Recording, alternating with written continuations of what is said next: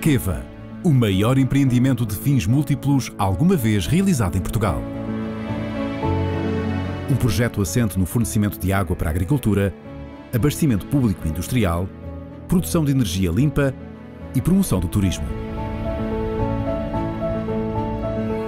Abrangendo uma área com mais de 10 mil km quadrados no sul de Portugal, Alqueva veio criar condições únicas para um desenvolvimento multissetorial e sustentável de uma das regiões mais deprimidas da União Europeia, com graves riscos de desertificação humana e física.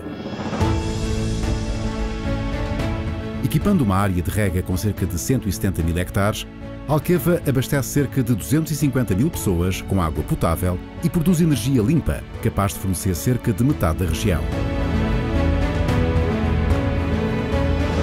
Alqueva veio garantir ao Alentejo a água que faltava nos campos e nas casas.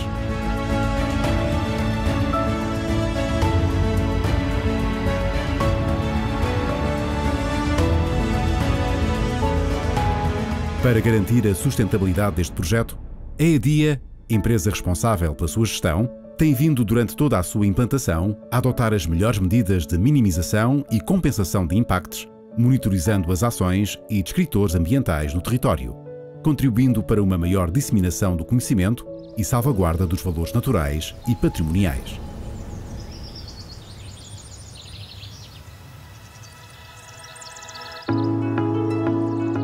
O desenvolvimento no respeito pela história é possível. Alqueva inventariou, estudou e registou milhares de elementos patrimoniais, muitos dos quais inéditos realizou cerca de 1.800 intervenções arqueológicas que revolucionaram o conhecimento da ocupação humana do território. Publicou estudos sobre esses trabalhos, reunidos em mais de 30 publicações, que totalizam mais de 8 mil páginas. Promoveu dezenas de comunicações públicas, congressos e exposições de divulgação de todo este novo património descoberto.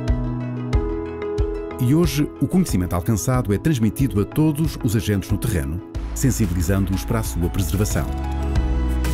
O desenvolvimento no respeito pelo ambiente também é possível. As áreas infraestruturadas por Alqueva conheceram aprofundados estudos de impacto ambiental, seguidos de declarações que ditaram as condicionantes e regras a seguir no respeito pelos valores ambientais e patrimoniais em presença.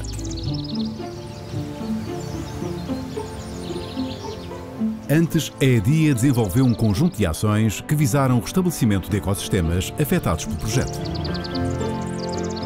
Criámos o maior bosque ripícola da Península Ibérica. Transplantámos outro, com árvores de grande dimensão. Trasladámos colónias de uma planta rara, o Narcissus cavanilesi. E criámos um banco de sementes. E hoje a EDIA cuida do presente monitorizamos e estudamos as espécies animais e vegetais vulneráveis. A linária ricardoi, pequena flor lilás, endémica desta região e rara. Ano após ano, a EDIA registra a sua evolução, sensibilizando os agricultores para a sua preservação.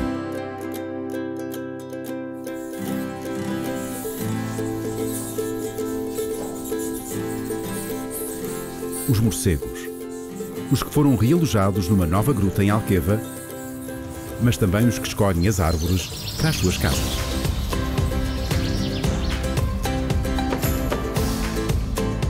Os charcos mediterrânicos, pequenas depressões naturais onde a água se evapora no verão, mas que mantêm a vida que há de renascer nas próximas chuvas. Os mamíferos e o efeito barreira criado pelos canais de Alqueva, à primeira vista, são obstáculos à progressão da vida animal entre áreas, mas cujas soluções aplicadas se revelam eficazes, garantindo a continuidade geográfica para a vida animal.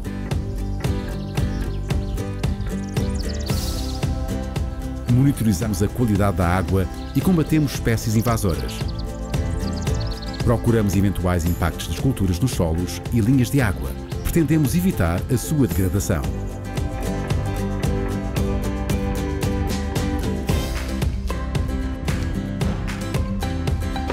E, acima de tudo, sensibilizamos os utilizadores de Alqueva para uma gestão sustentável.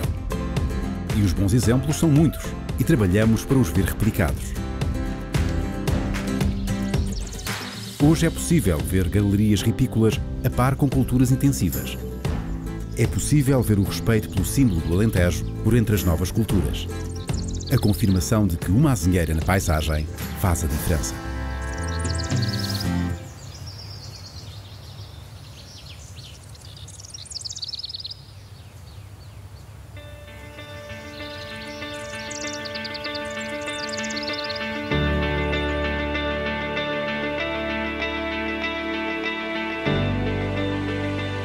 A sementeira de pastos e arrelvamentos naturais nas entrelinhas das culturas é cada vez mais usual, permitindo a nidificação de aves, protegendo o sol da erosão, mantendo a umidade e atraindo a fauna auxiliar às culturas.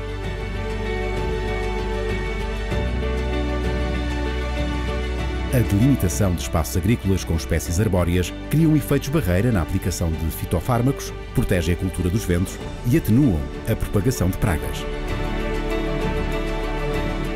o distanciamento de culturas dos aglomerados populacionais é cada vez mais visível. Os charcos mediterrânicos e outros ecossistemas são preservados entre as culturas e o controle de pragas por via biológica é cada vez mais usual entre os agricultores. A colocação de caixas-abrigo para morcegos nas propriedades são requisitadas à EDIA numa iniciativa pioneira. Pelo ambiente, pela história e pela sustentabilidade do projeto de Alqueva, a EDIA está no terreno na sensibilização e promoção das boas práticas agrícolas, casando o ambiente e o património cultural com o desenvolvimento e fazendo de Alqueva um projeto único. Alqueva promove a criação de riqueza na região e no país. Faz do Alentejo uma região verde, sustentável.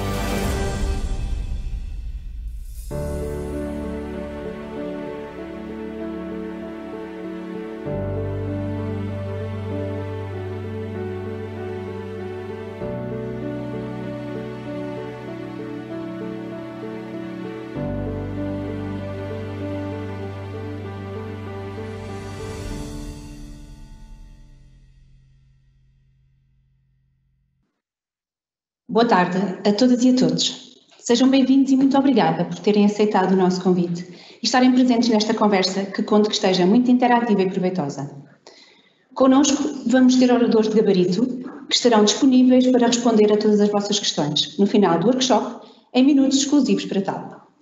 Pedimos, no entanto, o favor de nos irem enviando pela plataforma da reunião as vossas questões ao longo das apresentações e, obviamente, sempre que quiserem. Pedimos apenas que identifiquem a quem se destinam. No final, os oradores terão acesso a todas por ordem de chegada e as mesmas serão respondidas. Este workshop, uh, um bocadinho de introdução, faz parte de, entre outras ações, de uma candidatura da IDIA ao Fundo Ambiental, mais especificamente ao aviso Proteger a Vida Terrestre. E o nome que lhe demos foi CERN, Consolidar o entendimento entre o regadio e a natureza no EFMA sendo EFMA, como todos sabemos, empreendimento de fins múltiplos de Alqueva. Este nome, CERN, tem uma história que muito rapidamente partilho convosco. O Departamento de Impactos Ambientais e Patrimoniais da IDIA, responsável por esta candidatura, tem também nas suas funções o acompanhamento de vários fatores ambientais, entre os quais património histórico-cultural. Após algumas conversas entre nós, surgiu a ideia de darmos ao projeto um nome com história. Consolidar o entendimento entre o regadio e a natureza no EFMA tem origem na junção das duas palavras que é SERES, NAIDS e EFMA. Sendo o principal foco do projeto os temas agricultura e natureza, tendo como ponto comum e limitador a água, atribuiu-se à deusa Ceres, na mitologia romana, equivalente à deusa grega Deméter, que, como sabemos, é a deusa da agricultura e da fertilidade, a representação da agricultura presente na região do EFMA, sobre a qual assenta uma parte importante da atividade da IDIA. Representando a componente da natureza e da necessidade da sua compatibilização com o setor agrícola, surgem as ninfas, espíritos naturais femininos ligados à natureza. Entre as diversas classes de ninfas, atribuídas conforme os seus hábitos, temos as naturais, como a Naides, que na mitologia grega são ninfas associadas às águas doces. Por fim, como referência ao local de implementação do projeto, considera-se a sigla EFMA, como sabemos, o nosso empreendimento de Alqueva. Passando à frente e para não demorar muito mais, falo-vos agora do que se trata este projeto. Como sabem, a IDIA, enquanto entidade gestora do EFMO, como um todo e de forma global, para que se consiga extrair de todo o potencial que este empreendimento tem para a região e para as regentes, pretende, através do presente projeto, contribuir para uma maior sustentabilidade do regadio na região, através da sensibilização de diferentes públicos, como sejam o setor agrícola, comunidade escolar e pública em geral. Para tal, a empresa irá apostar na melhoria das ferramentas e estratégias utilizadas para a sensibilização do público-alvo, propondo um conjunto de ações destinadas a potenciar a riqueza socioeconómica gerada pelo empreendimento da Alqueva. Sob o tema Os Valores Naturais aos serviços da agricultura, teremos como ações a edição de um guia de boas práticas agrícolas, que mais tarde ouvirão falar, a realização deste workshop, o acompanhamento ambiental ao beneficiário e a edição de um vídeo promocional de boas práticas que irá brevemente ser divulgado nas nossas redes sociais. Neste projeto está também contemplada a melhoria de um espaço de dia, o açude do Monte do Louro, que servirá para demonstrações práticas de alguns dos valores naturais presentes na região, o qual vai permitir a participação de toda a sociedade civil. Por outro lado, considerando a comunidade escolar enquanto futuros intervenientes diretos e futuros decisores, bem como enquanto potenciais influenciadores no seio familiar e contexto civil envolvente, e como se costuma dizer, pequenino extra do pepino, foram também programadas algumas ações considerando este público, sob o tema A Natureza e a Agricultura. Para tal, elaborámos materiais pedagógicos, criámos um jogo de chão, iremos promover atividades na escola e nas saídas de campo. Espero que a conversa desta tarde vos seja proveitosa e auxilie novas parcerias e todos, em conjunto, trabalharmos por uma região mais agroecológica. Agora, sem mais demoras, vamos ouvir os nossos oradores, dando, deixando desde já a palavra ao Presidente do Conselho de Administração da IDIA, o Engenheiro José Pedro Stalema. Muito obrigada.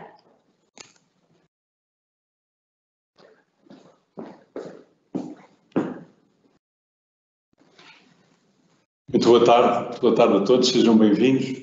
A Luísa não se apresentou, mas era a Luísa Pinto que começou este webinar, é a nossa responsável pelo Departamento de Impactos Ambientais e Patrimoniais. Muito obrigado, Luísa. Muito obrigado a todos também por, por se juntarem este, nesta tarde a este evento e, eh, em particular, aos nossos oradores e à Sra. Ministra, que também vai ter a oportunidade de fechar uh, o evento.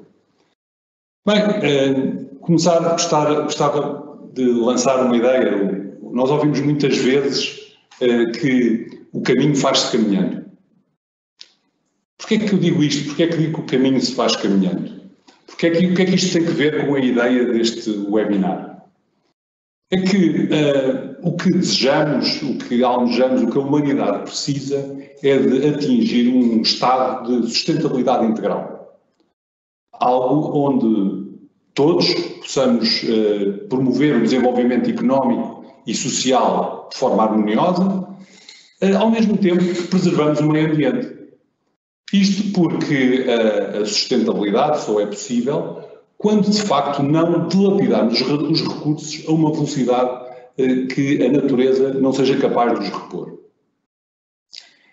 Uh, que há uns anos tive a sorte, um bocadinho antes, do, antes da pandemia, antes de, das todas as restrições que agora temos de mobilidade, tive a sorte de participar num, num seminário em Estocolmo sobre estes temas, sobre a sustentabilidade, e foi para mim um momento quase de, de revelação, de epifania. Uh, ouvi testemunhos inspiradores, como por exemplo o professor uh, Rockstrom, ou de uma, de uma responsável por uma empresa sueca uh, que há muitos anos começou neste caminho uh, de, ou nesta, nesta direção, em, em, em, direção à sustentabilidade. Uh, de facto, uh, como dizia há pouco, a sustentabilidade só é possível quando nós conseguimos satisfazer as nossas as necessidades hoje, sem pôr em causa que os nossos filhos, os nossos netos, os nossos tetranetos o consigam fazer também. E, portanto, no fundo é aquela ideia antiga de deixar para, para os outros para as gerações seguintes um mundo um bocadinho melhor do que aquele que encontramos. Nós, para sermos sustentáveis, vamos ter que pensar de onde vêm todas as coisas que utilizamos nas nossas atividades, na nossa agricultura. Não é só pensar naquilo que acontece dentro da minha herdade, dentro da minha quinta, mas o que é que é preciso produzir noutros sítios, noutros, até noutros países, para eu poder usar este fresquinho que chega à minha casa ou o gasóleo que eu ponho no meu trator. Mas dizia há pouco uh, o exemplo que conheci da Polar Broad. A Polar Broad é uma panificadora sueca, isto para não usar exemplos portugueses, uh, uma panificadora parecida, se calhar, com, em Portugal, com a Parrico. E em 2012, uh, a gestão desta empresa entendeu definir uma visão, a visão de sustentabilidade. E esta visão é, um bocadinho como na escola de gestão que aprendemos, é algo que deve estar num horizonte de 7, 10, 12 anos, que é muito difícil de alcançar, mas que é possível. E eles definiram em 2012 que queriam ser completamente sustentáveis. Para isso, tinham que ter ingredientes 100% sustentáveis, tinham que ter todos os seus transportes fósseis eliminados, portanto, não podiam usar gasóleo, gasolina para transportar e fazer chegar os seus produtos aos clientes. As embalagens, sabem, as embalagens do pão que compramos no supermercado, normalmente vêm dentro de um saco de plástico, pois eles entenderam que não podiam ter também plástico nas suas embalagens. E ainda que toda a energia que usassem tinham que ser eles próprios a produzir. Definiram isto em 2012. Começaram pelo processo de mudança dos seus fornos a gás natural para fornos elétricos, mas depois perceberam que não era só mudar os fornos elétricos, tinham também que arranjar forma de produzir energia. E em 2014 já tinham um parque eólico que era capaz de produzir energia suficiente para alimentar todos os seus fornos. Isto foi, como disse, em 2012, 2014. A visão que eles definiram era até 2022, é já no próximo ano. Hoje já têm 90% dos plásticos que usam nas suas embalagens são de origem vegetal e até 2022 toda a frota de distribuição da empresa será elétrica. Parece um bocadinho ainda, uh, na realidade portuguesa, algo fora deste mundo. Como é que é possível eles terem conseguido chegar já tão longe? Pois é preciso desenvolver a visão, com certeza, mas temos que ir descobrindo o caminho. E é por isso que volto à ideia que lancei inicialmente. O caminho faz caminhando. Mais do que o destino, que temos que obviamente idealizar, temos que ir percebendo que passo é que temos de dar no dia a dia em direção à, à, à visão que definimos. E, e essas, estas indicações na direção certa são as boas práticas. Ah, de facto, as boas práticas é uma condensação uh, do conhecimento técnico e científico que está disponível no momento em uh, pistas concretas, ideias concretas, para uh, que as atividades económicas possam caminhar no sentido da sustentabilidade. E, é por isso que a IDIA lançou este, este, este projeto e esta ideia, este, este seminário de divulgar as boas práticas. Como, como a Luísa referiu há pouco, uh, editámos um guia uh, que condensa aquilo que nós hoje achamos que são as boas práticas mais importantes. O, o guia está aqui, uh, os nossos clientes, os beneficiários da Alqueva, vão ter acesso a este exemplar, um exemplar como este, em papel, e tem 101 pistas práticas para aplicar no dia a dia nas, nossas, nas empresas agrícolas, nossas clientes. Mas este, este conhecimento que referia vai evoluindo uh, e não é estático. Nós hoje vamos descobrindo uh, novas ferramentas, novas formas de monitorizar o impacto das nossas atividades uh, e por isso é normal que daqui a 5 ou daqui a 10 anos tenhamos que fazer um novo guia porque este já está desatualizado. eu, quando era miúdo, ainda sou novo, acho pelo menos acho que ainda sou muito novo, mas lembro-me muito de ter a mania em miúdo de decorar os anúncios que passavam na televisão. E lembro-me ainda muito bem de um anúncio que, que, passava ainda a preto e branco da família Prudêncio. E a família Prudêncio era um clipe promocional do Ministério da Agricultura de então para promover o bom uso dos produtos agrotóxicos, como se chamavam agora. Chamamos, agora chamamos fitofármacos. Mas uh, dizia coisas uh, perfeitamente atuais, como o senhor Prudêncio não, não, não, não come, não bebe, não fuma, usa vestuário protetor quando aplica os agrotóxicos. Mas depois dizia outras coisas como queima as embalagens vazias e enterra-as longe dos ribeiros. Isto hoje, a, a nossa ideia, é completamente impensável. Nós não podemos fazer, obviamente, isso. E porquê? Porque sabemos que a queima das embalagens vazias pode contaminar a atmosfera, pode gerar fumos perigosos e uh, as, as, escorrências, as infiltrações podem contaminar, contaminar os lençóis freáticos. Portanto, uh, nós não temos uma nova versão da família Prudêncio uh, para, para atualizar esses conceitos, se bem que a Valor Fito fez essa atualização aqui há uns anos, mas no fundo era só para lembrar que de facto as boas práticas vão evoluindo e é normal que assim seja. Portanto, não esquecer, o importante é o caminho, é caminharmos na direção certa eh, da, da, sustentabilidade. Portanto, referi a edição do, do, Manual de Boas Práticas, do Guia de Boas Práticas, que já está hoje disponível no site da EDIA em formato digital, portanto, de livre acesso, todos podem consultar, mas gostava de referir também um estudo que vamos divulgar hoje, vai, vai estar também disponível no site a partir de hoje, que foi um estudo uh, dedicado ao olival. O olival uh, em Alqueva é a, a, imagem, a nova imagem da agricultura moderna de regadio da região.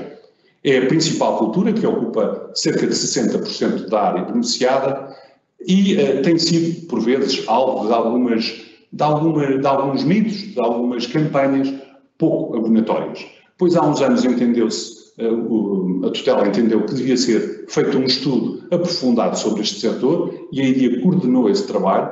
Uh, Está aqui, posso mostrar também a capa do manual que, que aqui está e, e, que estará, como disse, disponível a partir de hoje no nosso site, mas que eh, aponta as boas práticas, e mais uma vez voltar ao tema desta tarde, as boas práticas como a chave para a sustentabilidade desta cultura. Isto é, não há culturas boas nem más, não é por ser abacate, amêndoa ou olival que há algum problema com eh, essa cultura, com essa atividade, portanto, nenhuma cultura é má em si mesmo. O que interessa é aplicarmos as melhores práticas, tentarmos, por exemplo, criar bolsas de biodiversidade dentro da cultura, eh, com a preservação das galerias ripícolas e o fomento e o desenvolvimento, até eh, o adensamento dessas galerias ripícolas, as, as vivas, as sebes, sebes de compartimentação, o enraivamento permanente da entrelinha, com uh, uma flora diversificada que seja capaz de atrair os, os, os nossos auxiliares biológicos, ou a preservação dos charcos mediterrâneos, que vamos também falar esta tarde. Portanto, há uh, aqui um, um, conjunto de boas práticas que são apontadas como sendo a chave para a sustentabilidade do olival e, no fundo, de todas as culturas agrícolas intensivas que se praticam no espaço de Alqueva. E, portanto, uh, vamos, vamos dar seguimento ao nosso seminário, ao nosso webinar, uh, e, e, vou passar então a palavra, desejando bons trabalhos e máxima atenção para o Nuno Oliveira da, da NBI. Muito obrigado.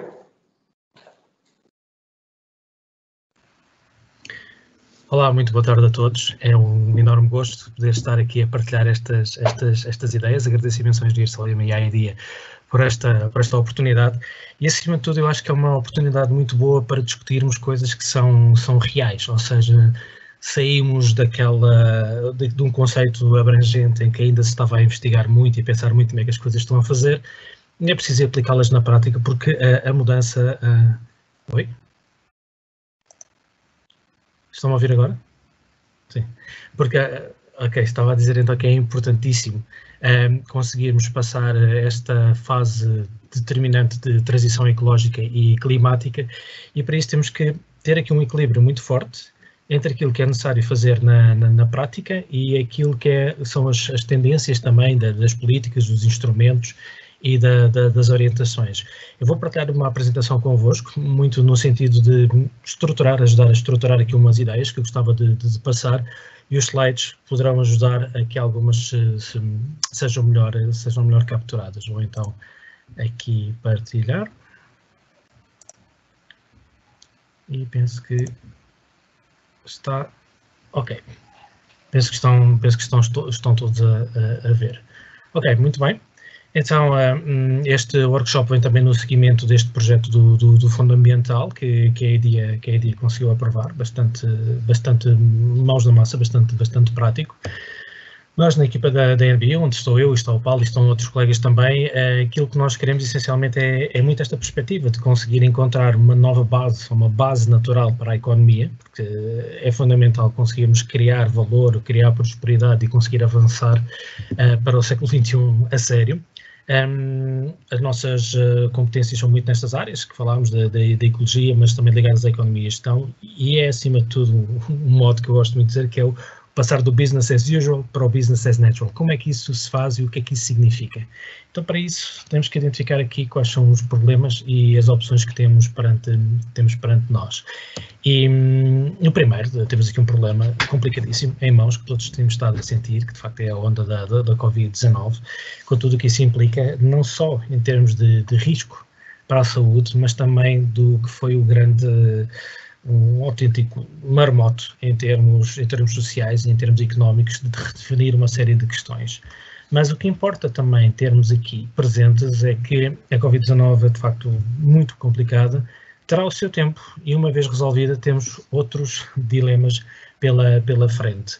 Um diretamente ligado à questão da recessão ou da, da reestruturação da economia, da economia global, mas também o desafio das alterações climáticas e do colapso ou da, da falha do, do, funcionamento dos ecossistemas.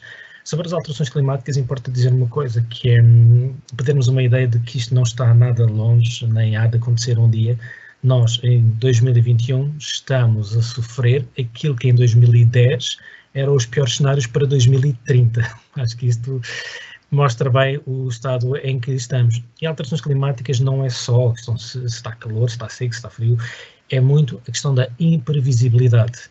E gerir qualquer negócio, qualquer investimento, qualquer uh, reforma económica, qualquer plano de resiliência, tendo em conta um cenário de grande instabilidade e de incerteza, é de facto algo muito complicado. Como é que isto se resolve?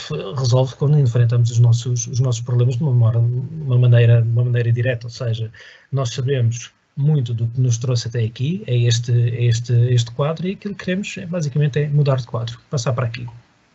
Perceber como é que não só sacudimos a pressão da Covid-19, mas apostamos a sério na questão da transição ecológica e climática, redescobrimos o nosso património natural dos ecossistemas e biodiversidade, não como algo que está lá fora, como o engenheiro Salema estava a dizer, mas como algo que está intrinsecamente dentro de casa, dentro do nosso negócio, nos nossos vizinhos, nos nossos terrenos, na nossa terra.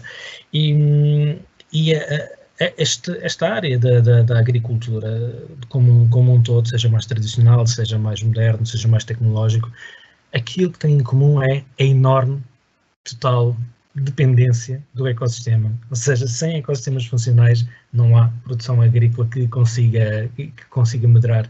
E isso é muito importante perceber que essa é uma vantagem, essa é uma boa notícia. Mas nós, para entendermos estas boas notícias, temos que perceber que estes dramas que nós estamos a viver, ou muitos destes problemas que nós estamos a viver, não são obrigatoriamente questões que têm só a ver, que têm só a ver connosco. É preciso ter noção de que, a nível global, no, no relatório mais recente de 2021 do Fórum Económico Mundial, a questão dos eventos climáticos extremos e dos danos causados à natureza pela, pela humanidade como um todo são consideradas aquelas como uh, que eles falam aqui no clear and present danger, ou seja, são questões extremamente urgentes que nós temos que lidar agora, dos tais 0 aos, 2 anos. Portanto, é agora. Há muita coisa que se pode fazer. O que é que isto significa? Que todos nós temos opções para conseguir lidar com estes, com estes, com estes aspectos à nossa, à nossa escala. Se olharmos um bocadinho mais no tempo, de 5 a 10 anos, vemos que mais uma vez aparecem aqui uma série de questões que são intrinsecamente fazíveis e alcançáveis por nós. A questão da perda da biodiversidade, e quando falamos em biodiversidade, não são só as espécies raras e ameaçadas e por aí fora, mas as espécies funcionais. Ter Linária ricardoi é excelente, porque é uma espécie rara, mas perder polinizadores implica ter que ir buscar colmeias. Perder eh, os morcegos e outros insetos que controlam as pragas implica ter que usar outros produtos. Até podem ser biológicos, mas não deixam de ser corretores àquilo que era a ação da, da natureza. E a questão também do, da crise dos recursos naturais. Os recursos são de coisas às vezes tão básicas como água, o solo, a fertilidade. E nós temos, de facto, quando falamos aqui do, no, na ação climática, temos que nos conseguir adaptar, porque reparem bem, mesmo que por uh, artes mágicas ou de magia negra ficássemos completamente uh, descarbonizados hoje, uh, porque operava tudo ou porque havia uma, uma varinha mágica que assim o fazia, mesmo que nós fizéssemos isso, as alterações climáticas continuam a ser um problema. Portanto, a adaptação a adaptação à nova realidade, ao novo quadro de incerteza, é absolutamente fundamental. A boa notícia no meio disto tudo é que, de facto, com a crise horrível que foi a Covid, conseguimos perceber que a capacidade de resposta do planeta, a capacidade de resposta do ecossistema era até acima de qualquer uh, das, das, boas um, expectativas que qualquer cientista ou qualquer biólogo, como eu ou o Paulo, pudéssemos, pudéssemos ter. De facto, o sistema responde rápido. Não foi pela melhor razão, todos nós sabemos isso, mas respondeu rápido. Isto é um sinal claro de que a natureza consegue responder e consegue vir ao nosso auxílio. Então, se a natureza consegue vir ao nosso auxílio, vamos nós também fazer este caminho e perceber o que é que a natureza nos dá. O que é que esta questão da regulação da, da, da climática e da transição ecológica tem aqui esta base que nós chamamos, e se chama também aqui, muito, cada vez mais também nas políticas nacionais europeias, as soluções de base natural, as Nature-Based Solutions naquilo que nós vemos é que há uma extrema e direta ligação entre o desenvolvimento de opções de base socioeconómica, de opções de investimento, em que aquilo que se faz é restaurar a natureza, restaurar a sua função. Não é com isto criar super parques naturais, a ideia não é essa, ok? A ideia é mesmo como é que nós fazemos as nossas apostas económicas de desenvolvimento e a agricultura é uma delas, claramente, porque sem agricultura nós crescemos, não há a mínima hipótese, mas como é que nós usamos a natureza a nosso favor, as tais ferramentas que a natureza tem a nosso favor. E hoje em dia, cada vez mais, nós estamos a lidar com situações em que as próprias seguradoras estão a olhar para esquemas como este que aparece aqui no, no, no quadro, em que nós vemos a ligação entre os serviços que a natureza nos dá, os serviços dos ecossistemas, e aquilo que são os principais riscos ao negócio, nos vários tipos de, de, de, de negócio. E entendemos que Uh, nesta mesma perspectiva de mitigação de risco, nós temos que ser ótimos a, a, a, entender o papel que a natureza tem neste, neste ponto todo, ou seja, mais uma vez, integrar, parece ser aqui a, a, chave e perceber que a biosfera, ou seja, o, o, aquilo que é o sistema, que é o sistema ecológico e climático, está na base daquilo que são os nossos valores societais, que por sua vez sustentam toda, toda a economia. Este caminho é um caminho muito interessante para fazer, onde há imenso território para inovar, para diferenciar e para, para criar. Recentemente, sim, uma revisão também de um relatório que é muito importante, que se chama Dasgupta Review, não interessa muito, mas é um, um, uma análise puramente económica da, da, da, biodiversidade dos ecossistemas. Uma análise em que foi feita por um grupo de especialistas em que olham, e se, tiverem acesso a este relatório, ele está na net, basta, basta pesquisarem, vão encontrar, até notícias em português sobre o mesmo, a economia, econometria pura e dura daquela mesmo, que, que estão a imaginar com, com, com, com, todas aquelas equações de econometria que, que, quem deu isto está a ver se se esquece.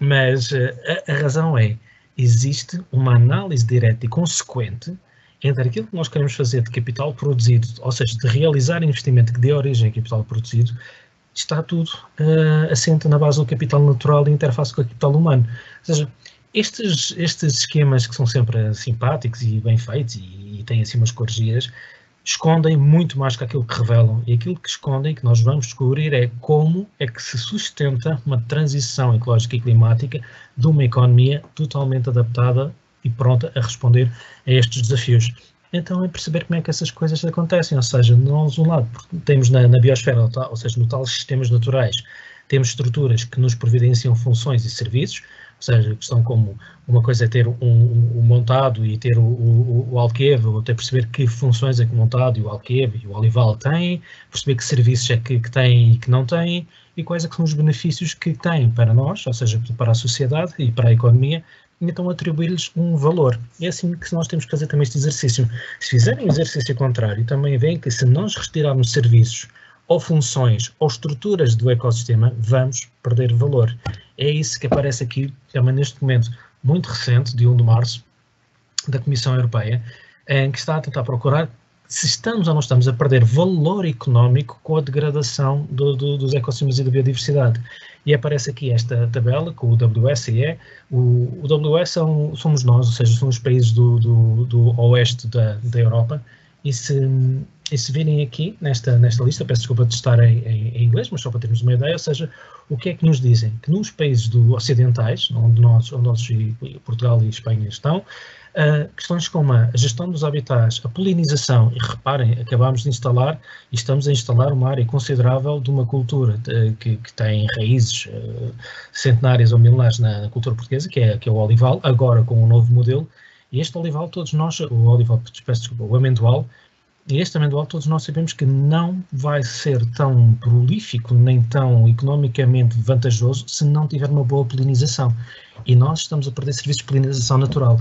Parece incrível, mas há questões aqui que podemos ver. Por exemplo, nós estivemos a estudar este assunto e a ver outros trabalhos foram, foram feitos.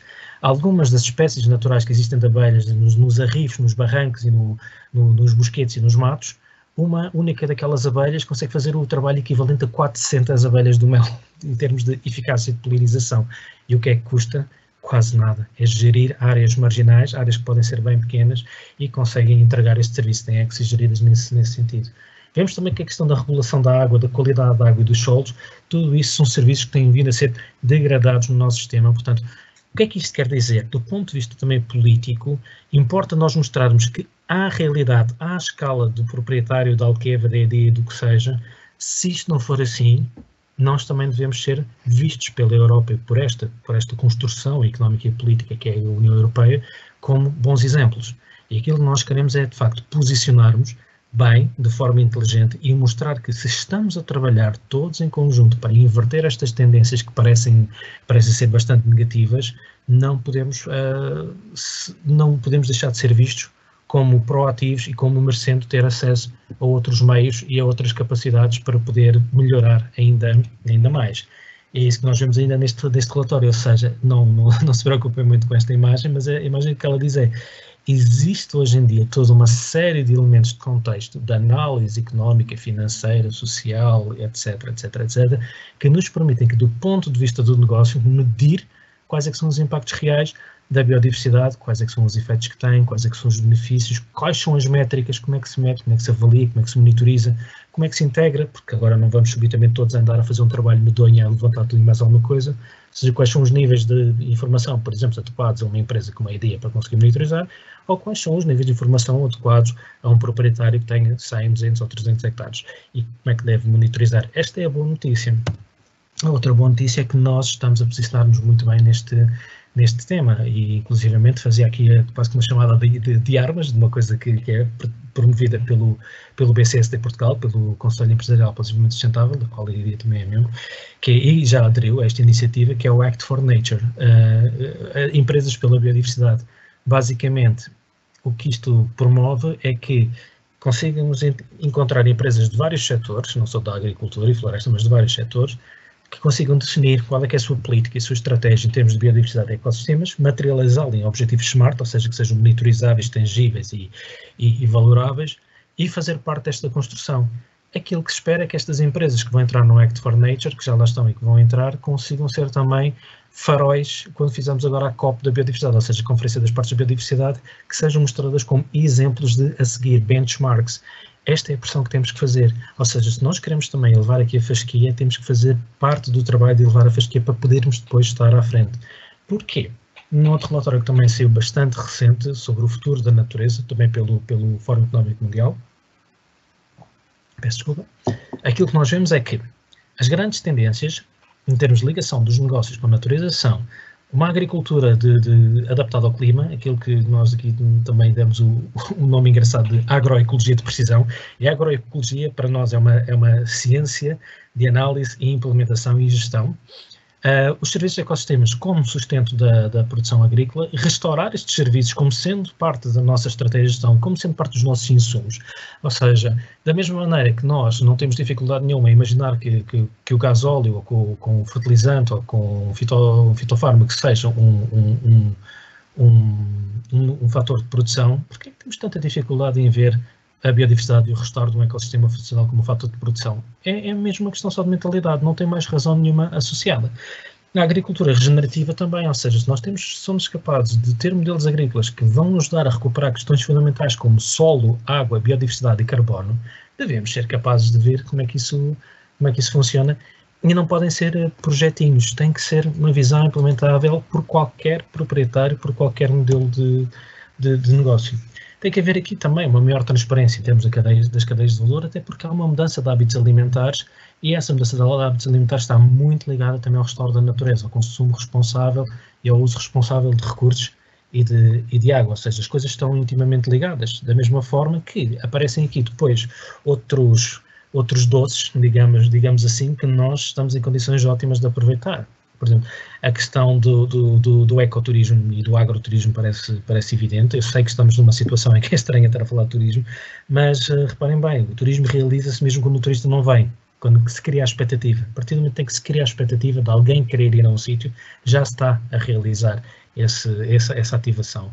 E a parte da bioeconomia, então, é, parece-nos absolutamente, absolutamente determinante, nomeadamente nestas áreas, ou seja, de termos capacidade de, através das nossas plantas silvestres, conseguirmos criar biofertilizantes ou criar estruturas ecológicas que vão proteger as nossas culturas, ao mesmo tempo que podem fornecer, imaginem, uh, elementos que possam ser utilizados não só na gastronomia e na culinária, mas também em biotecnologia a combater doenças infectocontagiosas como a Covid e outras doenças virais e, e bacterianas e fúngicas, quer das plantas, quer das pessoas. E, e, a ideia é esta, ou seja, usar a natureza para que também consigamos capturar carbono, porque vamos ter que o fazer, mas tem que ser um carbono funcional e tem que ser reconhecido pelos mercados do que é que realmente estamos a fazer.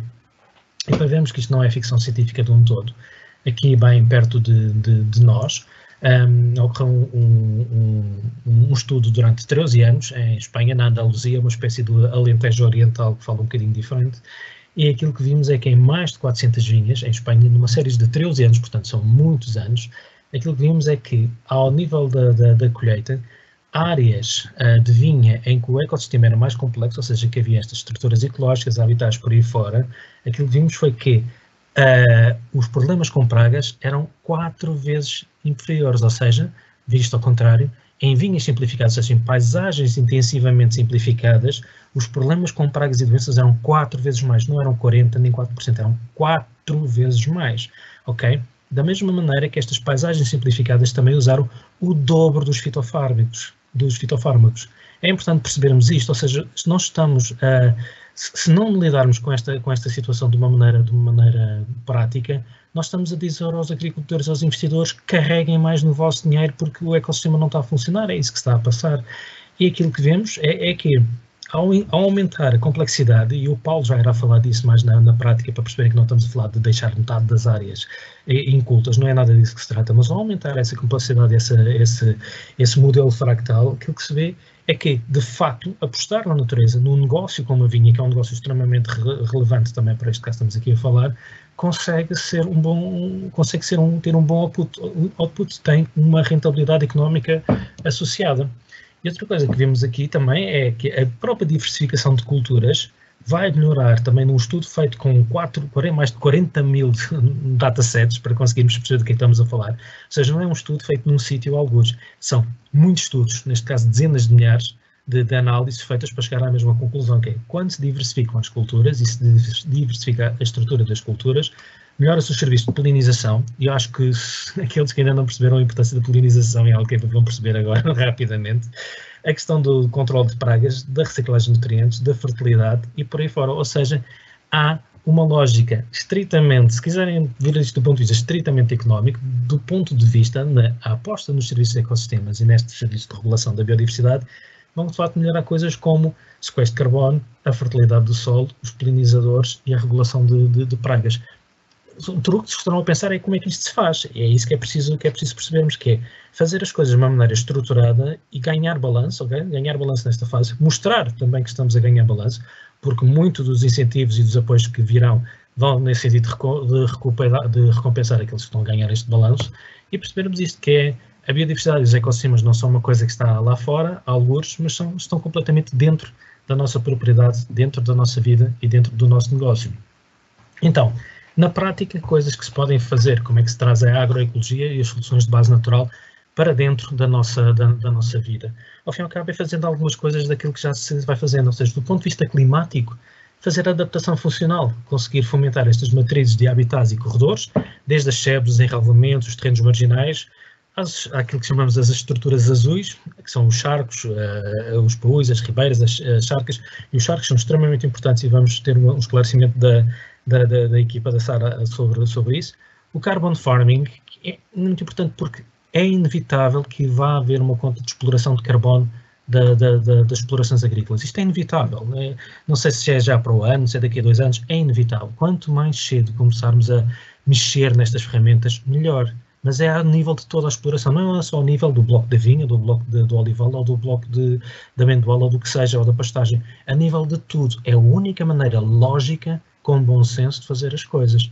Do ponto de vista do ecossistema, é muito importante a questão da prevenção de risco quer dos riscos naturais, das pragas, das doenças, mas das secas, das tempestades, quer riscos de desertificação ou de, uh, destas loucuras de calendários uh, hídricos que nós estamos a, a, a, sofrer. E do ponto de vista da transição ecológica é mesmo isto, é integrar estas coisas a nível do planeamento e gestão, começar a pôr números à frente também, quer dizer, é preciso ter um racional económico e de gestão para perceber se isto, isto são, são investimentos ou são desinvestimentos, em alguns casos, o que é que isso significa, o que é que se espera com isso.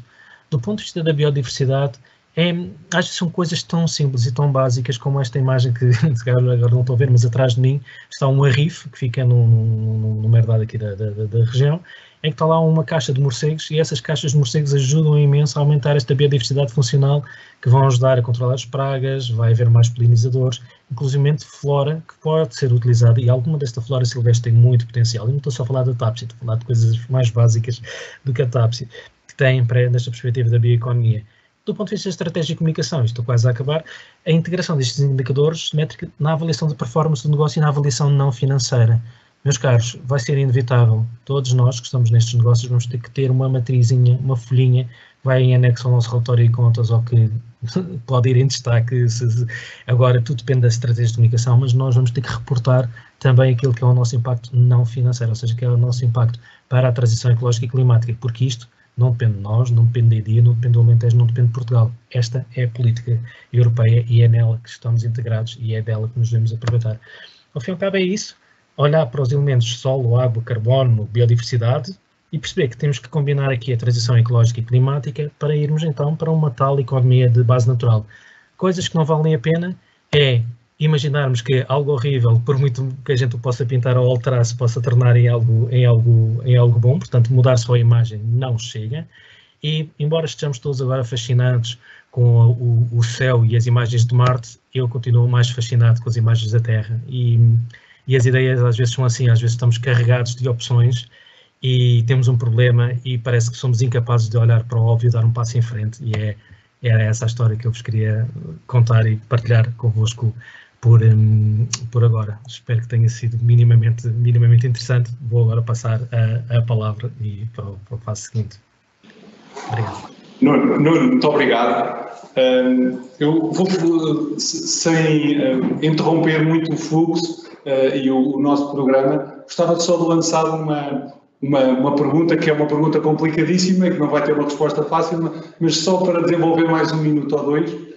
Como é que nós conseguimos uh, dizer um, um olivicultor, um produtor de amêndoas de Alqueva que hoje tem 50, 100, 30 hectares de uma cultura e, e, portanto está, é um agricultor especializado, é um olivicultor, é um, amêndoas especializado, como é que ele hoje agora introduz diversidade? Como é que ele pode, na prática, introduzir essa diversidade? Vai ter que arrancar agora fileiras de, de, de oliveiras para pôr uh, outras plantas quaisquer no manto, outras espécies quaisquer no meio, o que é que podemos fazer muito rapidamente?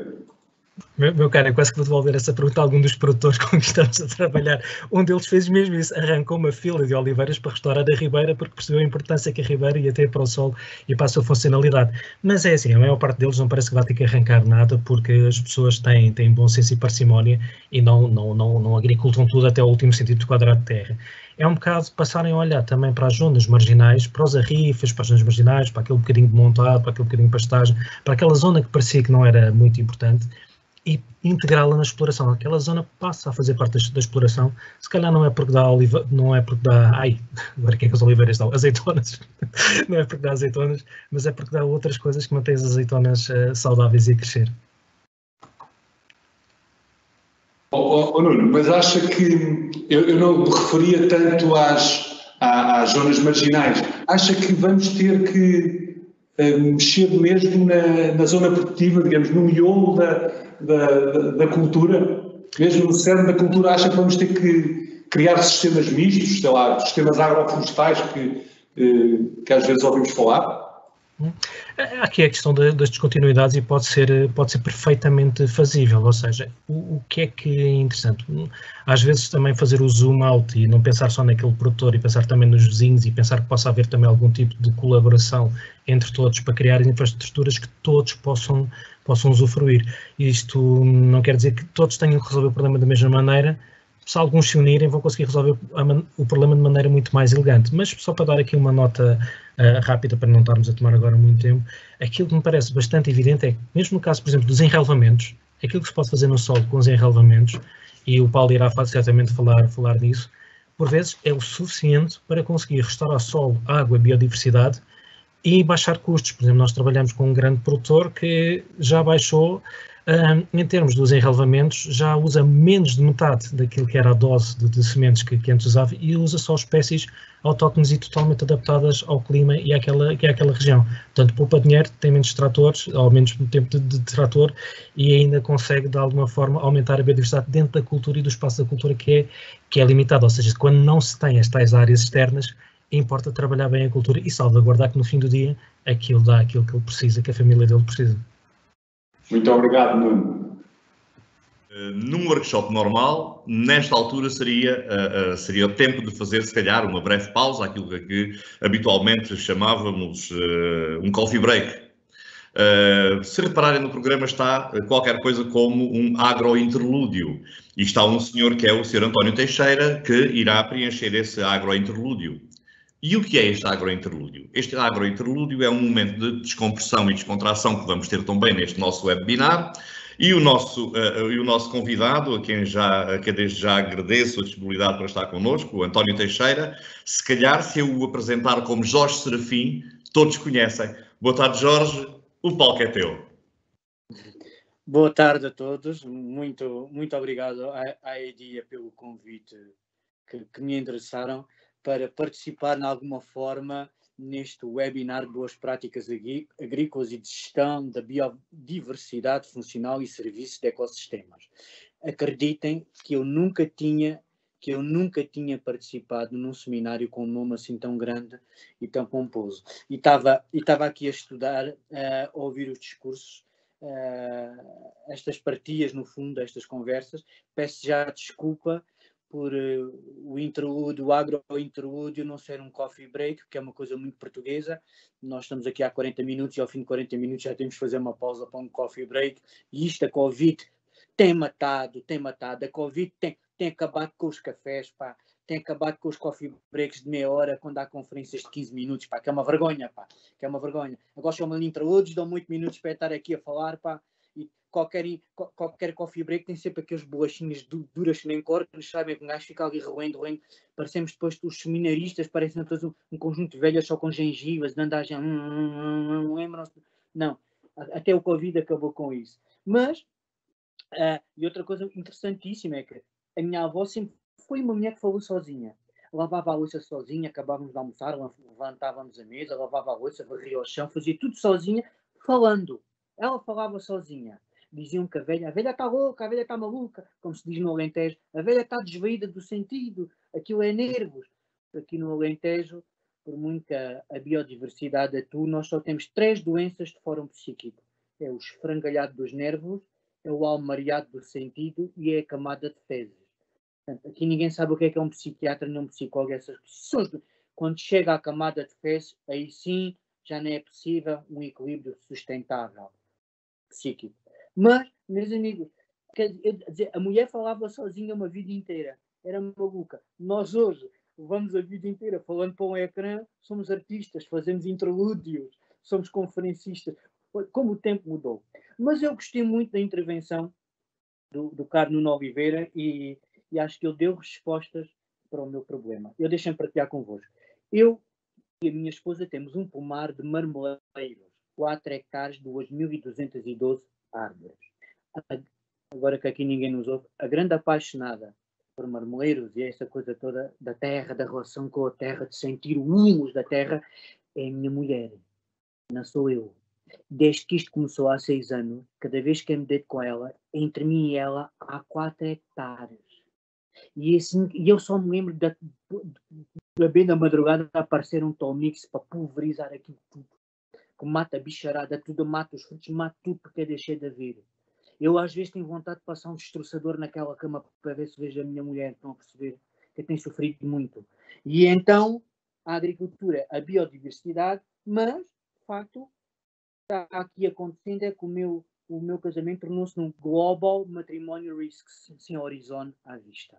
Isto é que foi o problema deste, deste casamento. E então, meus amigos, eu, eu já pensei procurar ajuda, porque a falta de polinização porque a agricultura não tem hora, há carência de polinização. Levanta-se às três da manhã, tem que pulverizar por causa dos bichos. Eu disse, oh, mete lá morcegos, filha, mete bicharada, deixa estar os mosquitos. Ah, porque o marmelo é sensível, não pode ser picado. Não pode ser o quê? Dá para a marmoada a mesma depois picado. Marmelo é uma... Deixa a sensibilidade. E eu e a minha sensibilidade, onde é que está, filha? Estou contigo há 12 anos. Desculpa a expressão. Porra, estou contigo há 12 anos. Estou se me levantasse às 3 da manhã para ir. Ah, vou pulverizar a discoteca. Tu aparecia-te bem. E agora vês-me dizer que vais pulverizar em noites de lua cheia num trator. Então, isto muda a vida das pessoas, porque não há tempo para nada, muda as horas. A nossa relação com o tempo e o espaço, a agricultura, de facto, é outra. Ai, é tão bonito ver amanhecer. Até nem era tão bonito quando eu ia petiscar com meus amigos e chegava de manhã com o amanhecer a chegar. Também é bonita a mesma, mas isto é a terra, diz ela. Escuta, meu amigo, disse-lhe eu, esta tua paixão pela agricultura ou se torna num agromatrimónio de precisão ou eu começo a aplicar fitofármacos do resto são o primeiro andar desta casa que tu vais ver a quantas andas. Estás a perceber, filha? Porque este ano apanhámos 85 toneladas 85 toneladas de marmelo. A sorte foi uma equipa de malta, malta de origem indiana que esteve lá a trabalhar, que eles punham sempre aquelas músicas, e depois eles falam, a maneira deles falar é parece que estão a jogar uma track, até os marmelos abanam assim nas árvores. E eu também, eu também falei com eles, traca, traca, traca, deixem-se disso, amém, vamos beber uma garrafa de vinho. Nem isso eles bebem. A carência, até, até para a minha vida no campo, é, a, carência, a minha carência social, a agricultura acentuou-a. E é isso, mulher. Descarboniza nesta coisa toda. Não, é depois eu estava a ouvir o início do seminário falarem em deusas gregas, Deméter, Ser, deusa romana, as ninfas. Quais ninfas? Qual carapuça? As ninfas. As mulheres que gostam da agricultura não têm horas para nada, elas chegam a ser mais brutas que os homens. É para levar para a frente, é para levar para a frente, pá na base natural, sustentável. Pá.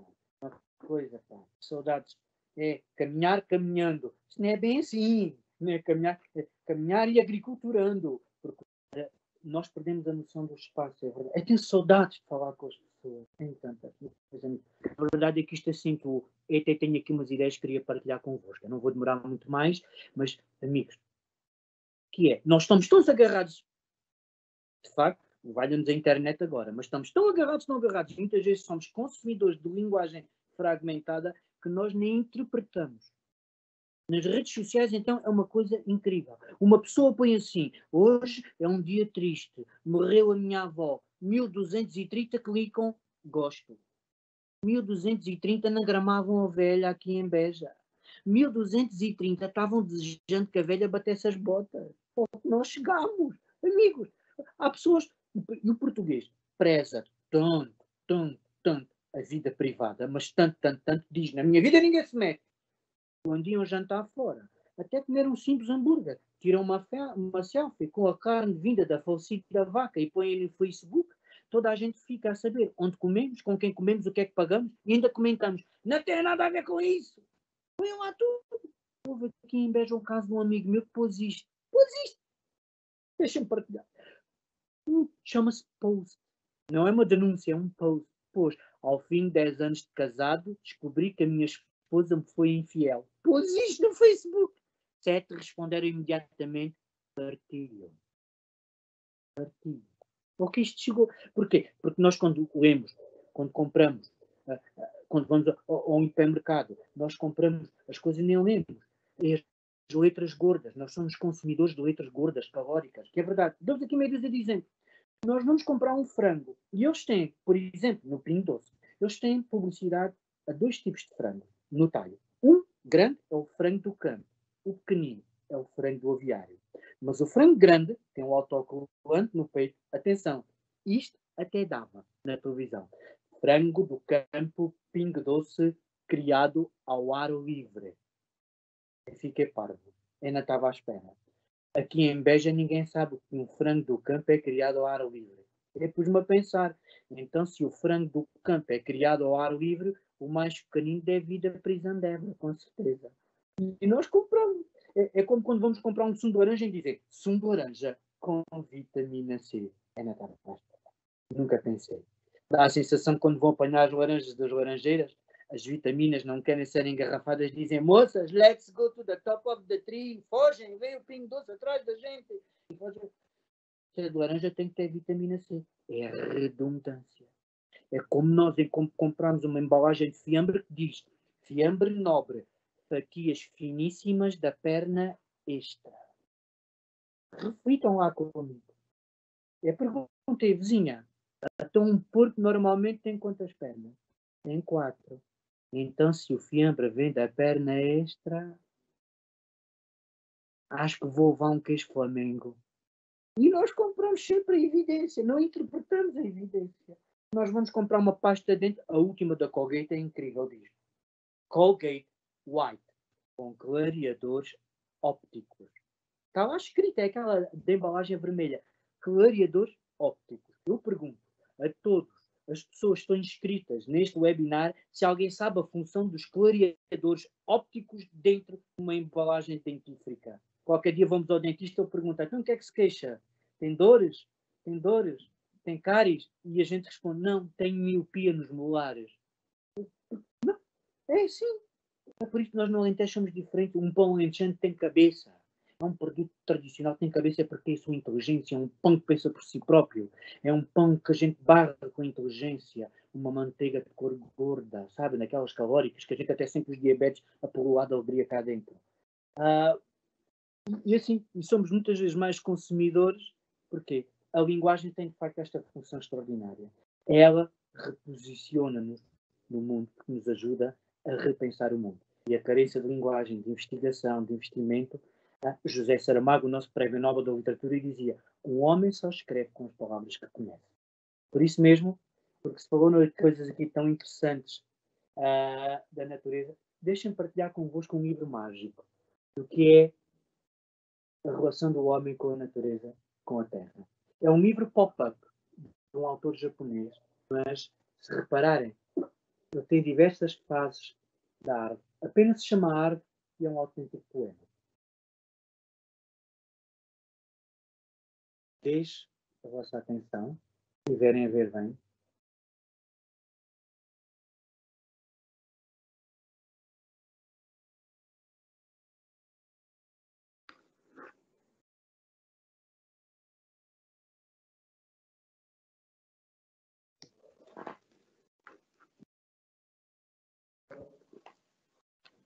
E aqui temos todos os ciclos da tal natureza harmoniosa, sustentável, independentemente de muitos fatores, nós devemos harmonizarmos com ela. Muito obrigado pela vossa atenção, muito obrigado à Iria, principalmente ao meu amigo Carlos Silva, e bom webinar. Muito obrigado.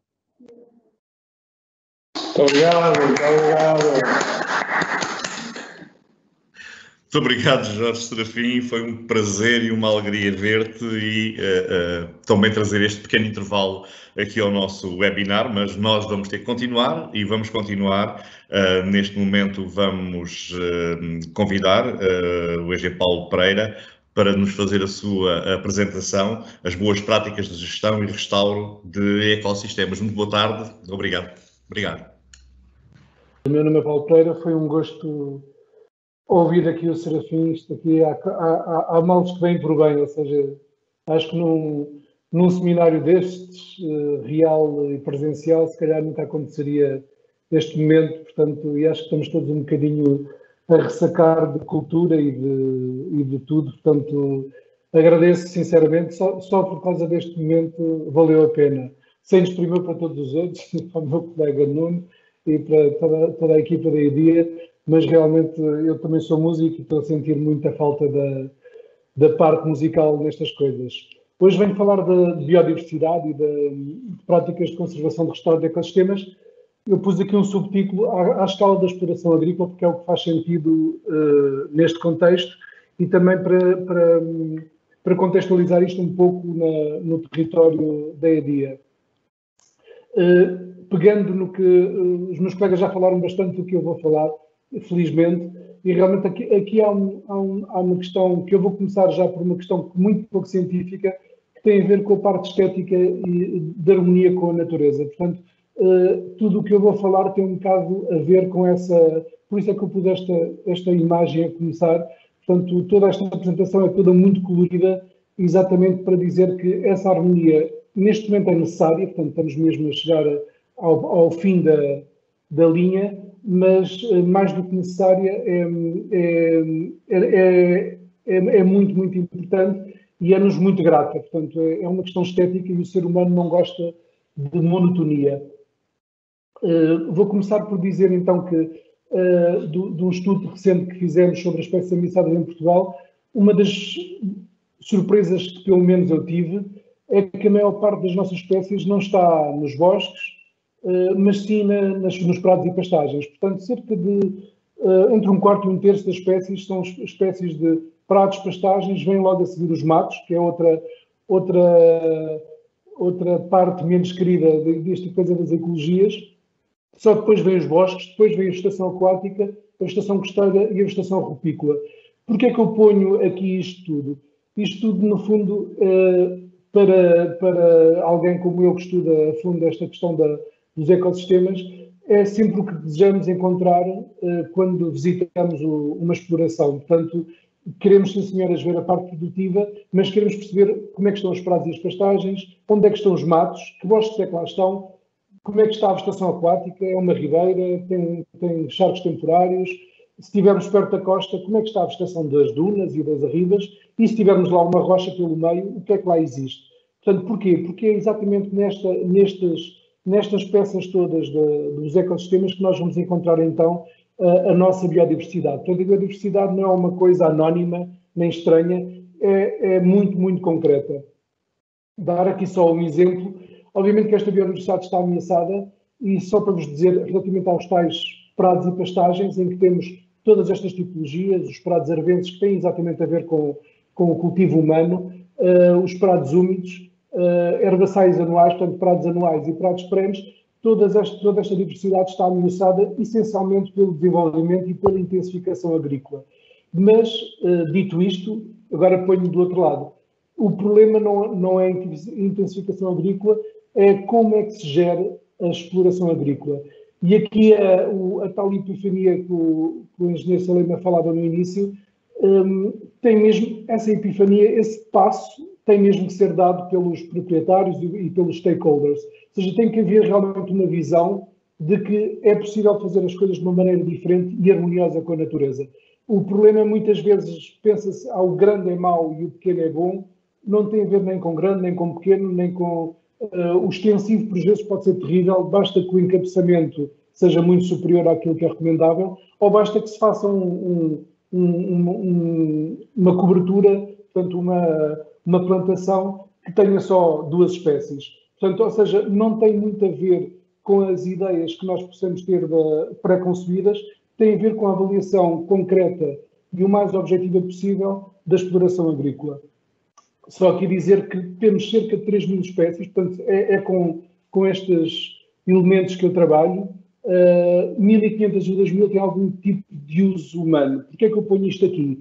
Porque podemos também olhar para a parte natural como uma, um possível uh, interesse económico futuro uh, que, que, venha a ser utilizado, sejam espécies aromáticas, sejam as melíferas, sejam as forrageiras, sejam inclusive coisas alimentares e medicinais. Portanto, tudo isto pode ser jogado e, e pode ir mais longe numa, numa, numa exploração uh, que, tenha, que tenha pouco ou nenhum uh, fitofarmacêuticos, como agora se diz, poderemos eventualmente usar as, as plantas das entrelinhas para nos alimentarmos. Portanto, isto parece um bocado estranho, mas, mas será um futuro normalíssimo daqui a muito, muito pouco tempo. Um, os usos são muitos, portanto, estão aqui a ver a quantidade de usos que pode haver. No Alentejo, eu fiz só este boneco aqui para, para se ver, mas realmente existem uma série de, de usos destas espécies todas que pode ser muito interessante. O que, o que eu acredito piamente e profundamente que pode ser a solução para, para a questão da, da, da, da agricultura no Alentejo é realmente respeitarmos o mosaico mediterrâneo. Sendo que o mosaico mediterrâneo eh, é, é, é, no fundo, a chave para, para conseguirmos conservar esta, toda esta biodiversidade fantástica. Eu estou, estou aqui a dar dois exemplos exatamente de olivais, em que um tem uma interface não contínuo com, com, com montado, com o sobreiral, isto nem sequer é montado, é um, um belo um sobreiral cheio de matos e de tojos que eu gosto muito lá por baixo, e do outro lado temos também um, um, um olival, neste, neste caso com um arrife.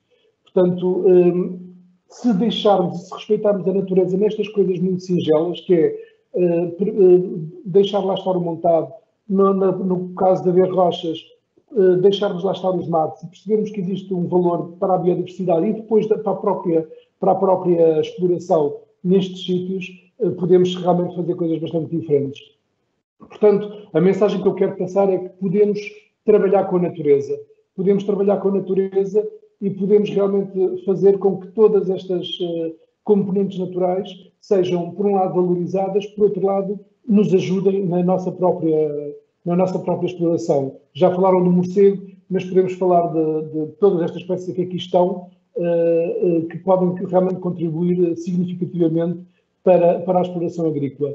Isto tudo é feito com, uma, com um racional bastante poderoso. Hoje em dia, felizmente, já há países bastante avançados na, na questão das, da, da agroecologia. Portanto, tenho, se virem aqui minha, o meu boneco, vão ver que tem ali um, um livrinho que agroecologia nas grandes culturas, portanto, a questão da agroecologia pode não ser só a pequena, a pequena propriedade, mas pode ser em grandes culturas, e realmente todos estes indicadores permitem-nos perceber se o agricultor, se, se o gestor agrícola está ou não está a caminhar no bom sentido. Isto permite também uh, fazer depois uma validação e uma certificação da, da, sustentabilidade e das práticas de sustentabilidade. Portanto, não é uma coisa de acho que, que é bonito ou é feio, é ter uma série de métricas que depois permitem-nos perceber uh, que estamos a caminhar no bom sentido. Algumas destas métricas podem ser cartografadas, neste caso é a herdade do esporão, podem ser cartografadas e podem ser usadas depois para planeamento. O restauro ecológico de habitats, eh, isto aqui é uma coisa já, já mais pessoal, mas não é uma reflorestação, portanto agora fala sempre de, de, de plantar árvores, em geral não é preciso plantar muitas árvores, é preciso perceber o, o que é que lá está e fazer, eh, e fazer depois o favorecimento da, daquilo que, que interessa para o ecossistema, implica conhecer muito bem os valores naturais e a biodiversidade de cada região, favorecer os mosaicos, favorecer a regeneração natural e potenciar também o banco de sementes, e na floresta apostar nas áreas de recuperação fácil. Uh, ou seja, zonas que estejam muito com, com, com, espécies exóticas ou com espécies de propagação terríveis, como por exemplo as giestas, uh, pode não valer a pena apostar. Portanto, havendo recursos limitados e finitos, é sempre bom apostar onde vale a pena. E planear as plantações de forma cirúrgica, de acordo com a ecologia local, e não deixarmos da, da questão, mesmo do ponto de vista da exploração agrícola, os talhões em retângulos eh, é uma coisa do passado. É preciso realmente adaptarmos à, à, à geomorfologia, às linhas d'água, às estruturas ecológicas que lá estão.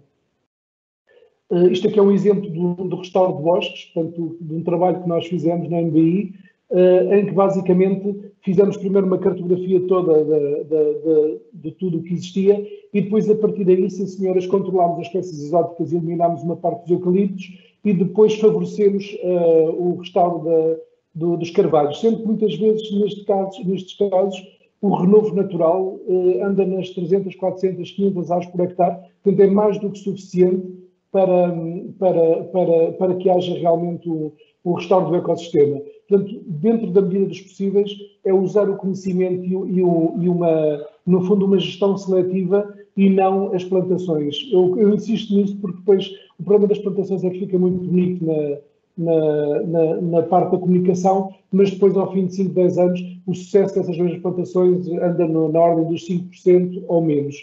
Portanto, é, é, recursos preciosos que são gastos de forma deficitária. Nas explorações agrícolas, o, o que nós realmente acreditamos profundamente, com base, é uma crença empírica, com base em, em bastante informação, é que se fizermos tudo bem desde o início, uh, uh, e a, a partirmos de, de, uma, de uma baseline uh, bastante forte, podemos efetivamente, no fim de, de, toda a intervenção, ter um ganho para o ecossistema, ter um ganho para o carbono, ter um ganho para a biodiversidade, porque efetivamente os nossos ecossistemas mediterrâneos, a agricultura sempre esteve presente. Portanto, nós podemos jogar com a, com, com, com, a nossa história milenar de, de, desta região fantástica e, e, e trabalhá-la a nosso favor. Mas, claro que há regras para isto. Utiliza é importante utilizar sempre aspectos autóctones locais, ter informação ecológica e, e, e, da funcionalidade. Se estamos a fazer estruturas para uma vinha, não é a mesma coisa que fazer para um amendoal, portanto temos que ter as preocupações de chegar com os enrelvamentos, no caso da vinha, até à altura da vindima. No caso da, do amendoal, temos que ter, ter floração prévia à, à, à, floração da amendoeira para que isso depois favoreça as abelhas silvestres. Um, adaptar a, a, diferentes ecologias e necessidades, identificar os hotspots, isto permite-nos também perceber onde é que está a biodiversidade. Muitas vezes, para as espécies raras, a área é relativamente pequena, portanto, não é um esforço uh, financeiro importante, e tem realmente depois um retorno imenso. Portanto, falou-se antes dos charcos. Os charcos, se juntarmos os charcos todos do Alentejo, se chegar a 0,00001% é muito. Portanto, realmente não estamos a falar de áreas grandes. Um, e, e, fazer sempre uma coisa, duas coisas muito importantes. Um, diferenciar bem as áreas de produção e a, das áreas de conservação, uh, otimizando as duas, as duas questões, capacitar as equipes locais, portanto, não, não as terem dependentes de, de, das consultoras a, a, médio e longo prazo. Uh, isto estou a falar de, principalmente relativamente ao, ao restauro de, das sebes, usar, usar sempre plantas o mais locais possíveis, de preferência apanhadas na própria, na própria exploração e fazer um planeamento a médio e longo prazo. Ou seja, estas coisas da sustentabilidade não se fazem de um ano para o outro, fazem-se com planos de 5, 10, 20 anos. Uh, agora, vários exemplos muito práticos.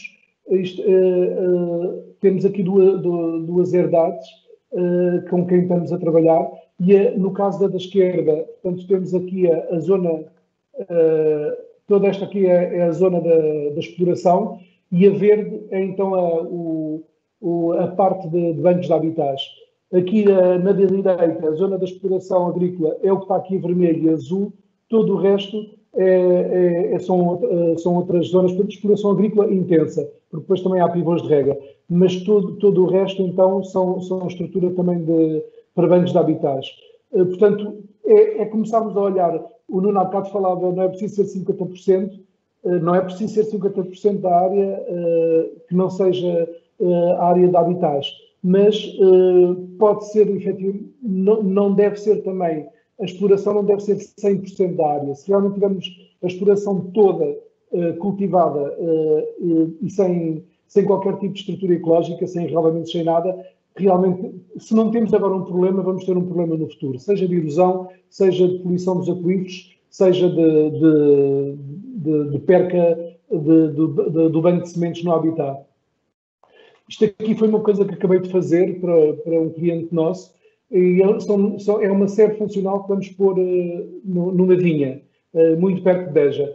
O que eu gosto desta, desta lista é que é colorida, portanto, se olharem para ela, quem, quem conhece um bocadinho de campo vai reconhecer a maior parte das espécies, Madre Silva, Aroeira, Mariola, Folhado, Rosa, Roseira, Murta, uh, Mato Branco, Alecrim, uh, Tamargueira, Luendro, estão aqui todas. Qual é que é a ideia disto? É termos exatamente uh, o conhecimento de qual é que é a espécie, o conhecimento de, de, que, de, como é que ela nos pode servir para, para a nossa exploração. Portanto, neste caso tem sempre quatro indicadores, controle de erosão, controle de pragas, polinização e também fixação de, de azoto. Portanto, eu posso jogar exatamente com as combinações destas espécies para otimizar em cada sítio para aquilo que ela vai realmente interessar. Portanto, posso, posso desta forma, aqui sim, estou a plantar efetivamente alguma coisa, mas atenção, é, é quase uma visão agrícola.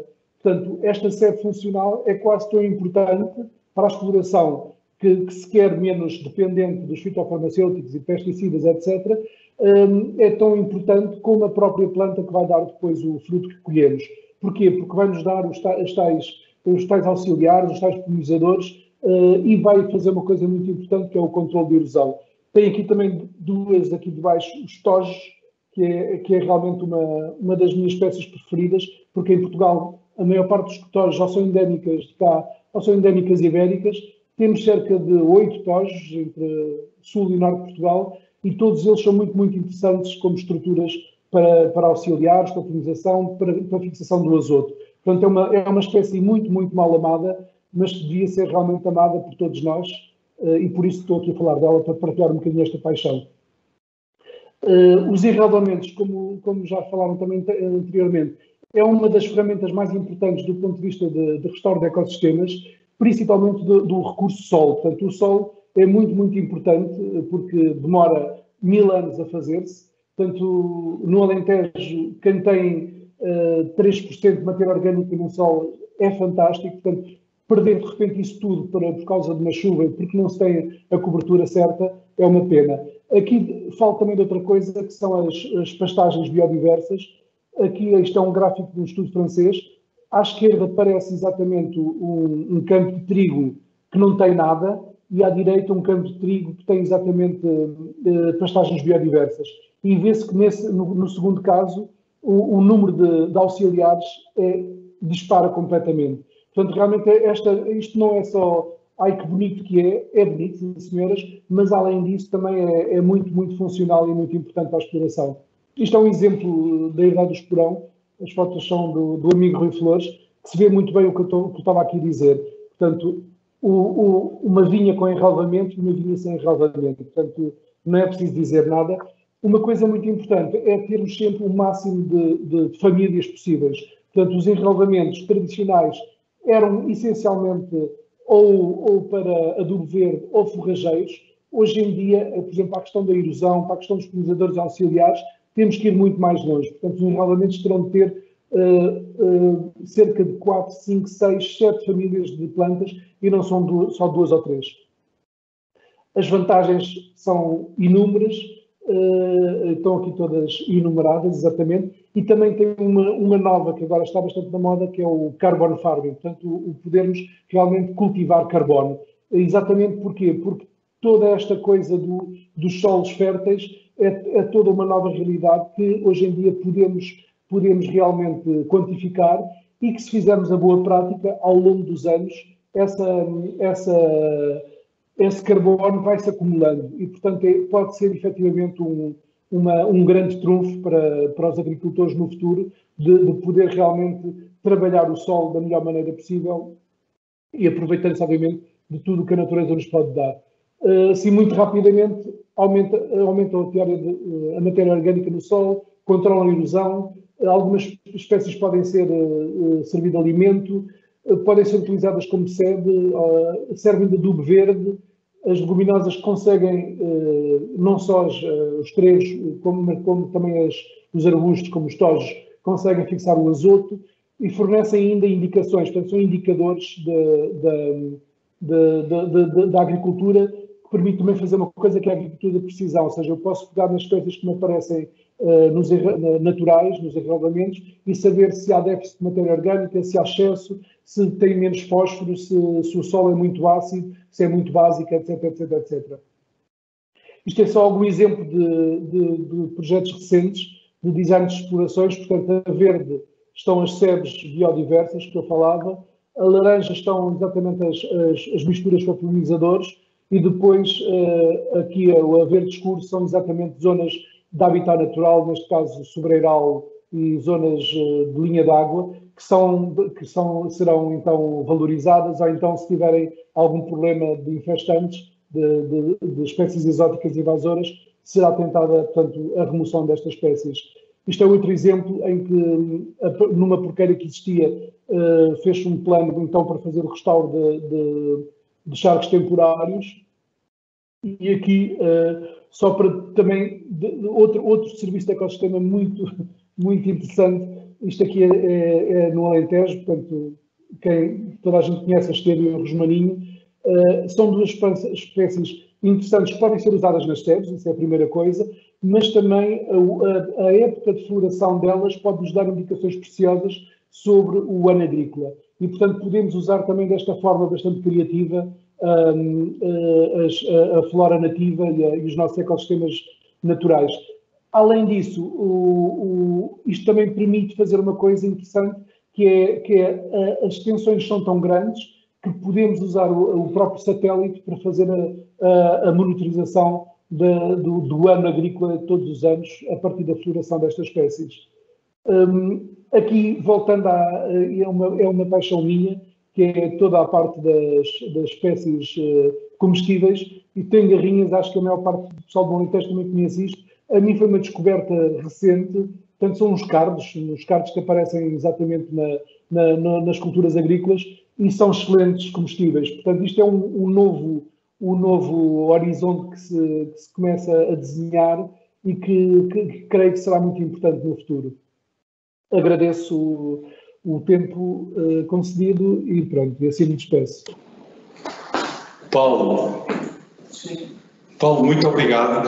Uh, eu gostava só de, também de fazer aqui uma, uma pergunta relâmpago, uma, uma pergunta para uma resposta relâmpago, porque fiquei uh, intrigado com um dos primeiros slides em que fala em outros auxiliares que nós se calhar não estamos habituados a ver, como as galinhas ou, ou as ovelhas quer falar um bocadinho de como é que podemos utilizar os animais na, na restauração ecológica?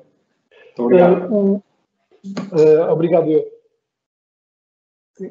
O, a, a, ideia será, será sempre utilizar. Uh, é, é, é, não é fácil, porquê? Porque a usar animais na, na, parte da exploração agrícola, da parte produtiva, é preciso ter em conta a, a, própria ecologia da planta que estamos a falar se for a vinha, ou se for o amendoal, ou se for o olival, o tipo de intervenção terá que ser sempre diferente. Uh, uma das coisas que está, que, que, está a usar, ainda falei no outro dia com, por causa do, do Porto Protocolo, em que vou também falar uh, daqui a uns dias, com colegas dos Estados Unidos e de, e de França, e, e, exatamente eles usam, uh, nos Estados Unidos, eles usam as ovelhas na vinha, mesmo durante o ano. Portanto, em, em, em exploração biológica, em modo biológico, como eles dizem, organic farming, e a, e a, questão é que eles têm vinhas diferentes das nossas, portanto, uh, uh, toda a barreira é mais alta e é possível usar durante o ano inteiro. Cá em Portugal, as experiências que, se podem, que estão a fazer é usar na, zona, na altura da dormência, portanto, uh, outono e inverno, e usar uma grande quantidade de ovelhas durante um curto espaço de tempo. Mas para isso, lá está, é importante ter enraivamento verde a essa data. Se estiver tudo seco, podemos lá as, as ovelhas, mas depois elas não têm nada para comer. Mas, portanto, no fundo é, eh, nós perdemos todos os nossos grandes mamíferos naturais, não é? Os, os auroques as cabras montesas e o que quer que seja. Portanto, o que, o que fazem as ovelhas, o que fazem as galinhas, é, é estão, estão exatamente a substituir é, essa, essa, essa, esses mamíferos mais naturais por mamíferos domésticos, mas que do ponto de vista ecológico funcionam da mesma maneira. Portanto, ter imensas ovelhas a pastar numa exploração pode, pode exatamente fertilizar o solo e, e fazer uma. Eh, a, maior parte de germinação, por exemplo, das leguminosas, depende de, de passar por, lá, lá por cima um, um, uma grande massa de, de mamíferos, portanto, sejam elas ovelhas, sejam vacas, seja o que for.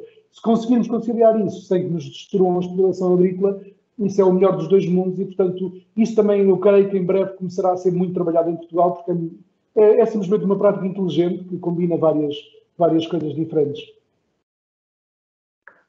É isso, muito obrigado. Temos que usar a, a fábrica e o mecanismo da natureza, os mecanismos da natureza a nosso favor. Muito obrigado, Paulo. Nada. Então, boa tarde e vamos eh, continuar eh, este nosso webinar, dando agora a palavra à nossa, à nossa colega também, a Sara Valente vai falar sobre a avaliação e restauro do, dos ecossistemas úmidos no empreendimento Fins Múltiplos da Alqueva, muito concretamente dos charcos mediterrâneos. Vou falar um pouco sobre os charcos temporários. uh, que, são, que são áreas um, com depressões pequenas, portanto, que têm no máximo uma profundidade de 30 a 40 centímetros, não muito mais do que isso, uh, e que acumulam água durante um período curto de tempo, ou seja, só uh, na, na, fase, tem uma fase seca e uma fase úmida, na fase úmida apenas quando chove um, acumulam depois uh, um, um lençol de água uh, relativamente pequeno e no verão estão completamente secos. Como têm esta, este comportamento, esta dualidade, depois vão ter características também muito específicas uh, e todo, todas as comunidades que lhes estão associadas, seja de fauna, seja de flora, vão estar adaptadas, vão ter as suas estratégias adaptadas um, a esta variabilidade. Um, entretanto, vou continuar. Pronto, estes charcos podem se formar uh, principalmente por duas formas, pela camada de solo onde se encontra, portanto, onde a depressão está, uh, essa camada é relativamente mais permeável que, que as camadas de solo circundantes uh, e por isso mesmo quando a, água, quando a chuva cai, uh, vai-se acumular uh, água aí mais do que num, numa outra zona onde o solo é mais permeável. Existem depois certas unidades destes charcos que são também alimentadas pelos aquíferos, ou seja, essa depressão vai estar alinhada com zonas em que temos águas subterrâneas e quando esses lençóis estão bastante carregados, portanto têm os níveis bastante altos, vai aflorar e vai aparecer a água nessas, um, nessas, nessas zonas. Uh, estas zonas são bastante importantes para, para a biodiversidade em geral, uh, são muito importantes para alguns grupos faunísticos que completam o ciclo de vida nestas áreas, como por exemplo os anfíbios, um, e depois têm também comunidades de flora bastante, bastante características. Estas unidades estão também divididas em várias cinturas, conforme o período de inundação a que, a que estão sujeitas, e depois tem também as comunidades, seja de fauna e flora, adaptadas a estas, a estas condições. Uh, temos espécies muito características que só aparecem mesmo nestas zonas, um, seja de, de, de, fauna, seja de flora, e relativamente à, à flora, uh, relativamente à fauna, por exemplo, temos um dos animaizinhos que, que aqui aparece. Um, é um animal que vem já desde a da, da era de Jurássico, portanto, é um chamado fóssil vivo que uh, vive já no nosso planeta desde, desde a época dos, dos dinossauros. Um, quais são as, uh, este, este habitat, de acordo com toda a biodiversidade que apresenta e todas as características que lhe estão associadas, foi depois classificado um, e é abrangido pela Diretiva Habitats, portanto foi, foi identificado como habitat prioritário para, para conservação e daí também a importância nos nossos estudos de impacto ambiental dos vários blocos de rega uh, foram transpostos para as declarações de impacto ambiental e daí terem depois a obrigação, um, consoante algumas medidas de, de determinados blocos. Portanto, quais são as principais ameaças que se têm registado uh, a estes habitats? Portanto, temos um, já há muito tempo atrás, portanto, ainda anterior ao regadio nesta zona, temos alguns impactos que têm, que têm, têm ido afetando estas unidades. O principal sendo a drenagem, portanto, sendo uma zona uh, que uh, dificulta ou torna mesmo impossível um, fazer agricultura nestas, nestas zonas na época mais úmida, portanto é natural que os agricultores queiram tirar rendimento destas zonas. E como tal muitas vezes tentam fazer a drenagem de, das áreas. Um, e uh, portanto, isso é uma das principais causas um, de, de, das ameaças principais uh, a estes habitats. Portanto, temos depois o aprofundamento destas zonas para criar charcas mais um, em vez de serem tão temporárias, tanto mais permanentes, o que depois tira o caráter que estas áreas têm e as espécies que lá estão já não vão conseguir desenvolver o seu ciclo normal. A instalação de culturas permanentes nas, na, nas zonas específicas dos charcos, um pastoreio demasiado intensivo um, e também algumas espécies exóticas ou invasoras, seja das espécies de fauna, seja de flora. Vou-vos dar depois, gostava-vos de vos mostrar aqui umas coisas, umas imagens de alguns casos práticos um, que nós temos vindo a acompanhar, de todas as unidades que temos estado a acompanhar. Um, Vou-vos dar um primeiro exemplo. Esta unidade um, foi uh, identificada nos estudos de impacto ambiental, aliás, como todas as outras que aqui vou, vou, vou mostrar, e temos os registros desde 2013 uh, ah, que existia uma zona úmida naquela, naquele local. Um, efetivamente, quando foi feito, a IDIA tem em curso, desde 2009, um plano de conservação dos charcos temporários, que uh, no passado ano 2018 foi reavaliado e foi atualizado. E dentro deste plano, então, um, surgiu um, um, novo método, uma nova metodologia de acompanhamento das unidades, e daí depois temos aqui este, este pequeno intervalo de desde o início dos projetos até estes dados mais concretos. Portanto, esta, esta unidade foi então identificada, foi feita a informação em conjunto com o proprietário, se mostrou, desde o início sempre muito uh, cooperante um, com, com, no nosso, no nosso, um, na nossa visão, uh, portanto, e uh, fomos acompanhando, uh,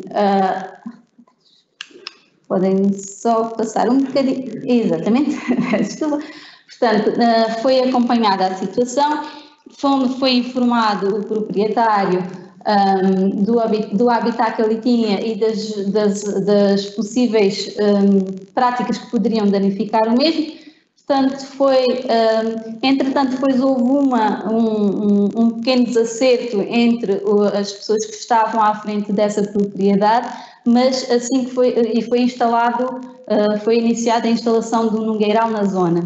Assim que nós nos apercebemos dessa instalação, falámos novamente com os proprietários, aqui já com outra pessoa responsável ao comando, mas que também desde o princípio se mostrou bastante cooperante e então foi retirada, eh, foram retiradas as árvores que estavam na área do, do charco e foi inclusivamente posto uma cerca uh, por iniciativa do proprietário com o nosso aconselhamento, uh, foi posto uma cerca para tentar evitar, permitindo na mesma a deslocação dos animais e uh, da natureza no, no, seu, no seu desenrolar normal, mas foi foi instalada essa, essa cerca de forma a limitar o acesso à mesma, principalmente uh, por trabalhos agrícolas, para não danificar. Portanto, este ano uh, foi um ano excepcional para, para ver os charcos e o estado em que eles estão, efetivamente.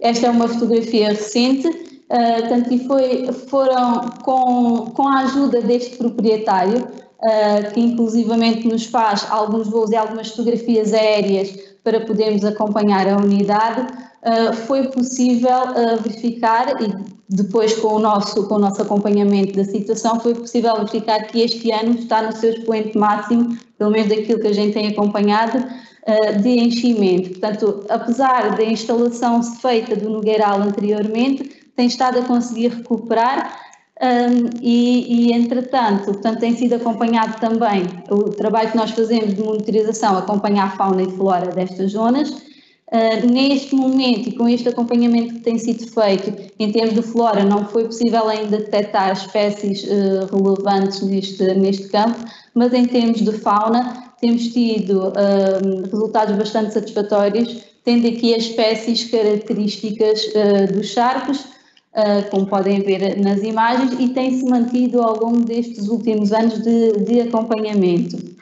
Portanto, uh, a monitorização feita este ano permitiu-nos já ter lá alguns destes, destes animais, portanto na imagem vêm a andar um bocadinho mais, parecem um pouco mais transparentes os camarões-fada e depois o camarão girinho ali um bocadinho mais enérgico uh, que são as espécies mais características. Vem depois também um, uma larva de anfíbio, um, ah, portanto, para demonstrar um bocadinho, um bocadinho uh, pequenino de água deste, deste charco, a vida que pode lá existir. Portanto, nesta unidade, uh, as ações já foram implementadas sempre em conjunto com o proprietário, estabelecimento do compromisso de gestão, que foi um dos passos que, que temos considerado e que achamos mais importantes neste, neste caminho, para que ambas as partes possam complementar e ajudar para a conservação destas zonas. Foi retirada então as aves, como já tinha dito, feito um cercado uh, permeável, um, a, passa a, passagem desta, desta herdade para o modo de produção biológica também está em curso. Portanto, são tudo práticas que nos têm ajudado bastante do lado do proprietário, ajudado a que uh, conjuntamente consigamos uh, tentar a recuperação desta, desta unidade. Portanto, a monitoração da fauna e flora vai ser continuada. Um, possivelmente teremos que fazer um controle da vegetação que existe e uma inoculação de terreno para termos novamente uh, as espécies mais características desta, destas, uh, destas unidades. Depois, uh, passando para a, a, próxima, a próxima unidade, esta unidade foi também identificada, portanto, desde 2013 de acordo com os, os que temos acesso, desde 2013 que não conseguíamos identificar o plano de água nesta, nesta área, um, portanto foi uma área que foi sempre feita, foi sempre utilizada para culturas de cereais. Um, entretanto, quando chegámos à conversa com, com o proprietário, também se, se, mostrou logo disponível para o estabelecimento do compromisso, foi delimitada a área, Portanto, o, o, proprietário deixou de lavrar e de utilizar aquela área a partir daquele momento.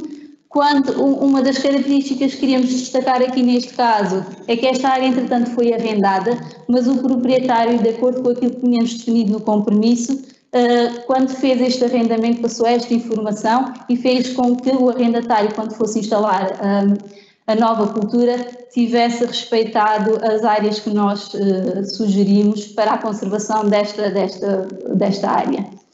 Portanto, aqui também em termos das ações implementadas foi as que, que, já falei, destacar sempre aqui o compromisso que os agricultores têm tido conosco e em conjunto de, de conseguirmos conseguirmos uh, avançar na conservação destas, destas áreas, portanto, e os passos vão sendo, sendo dados de acordo com a unidade em questão, mas de, de forma geral são, são minimamente parecidos.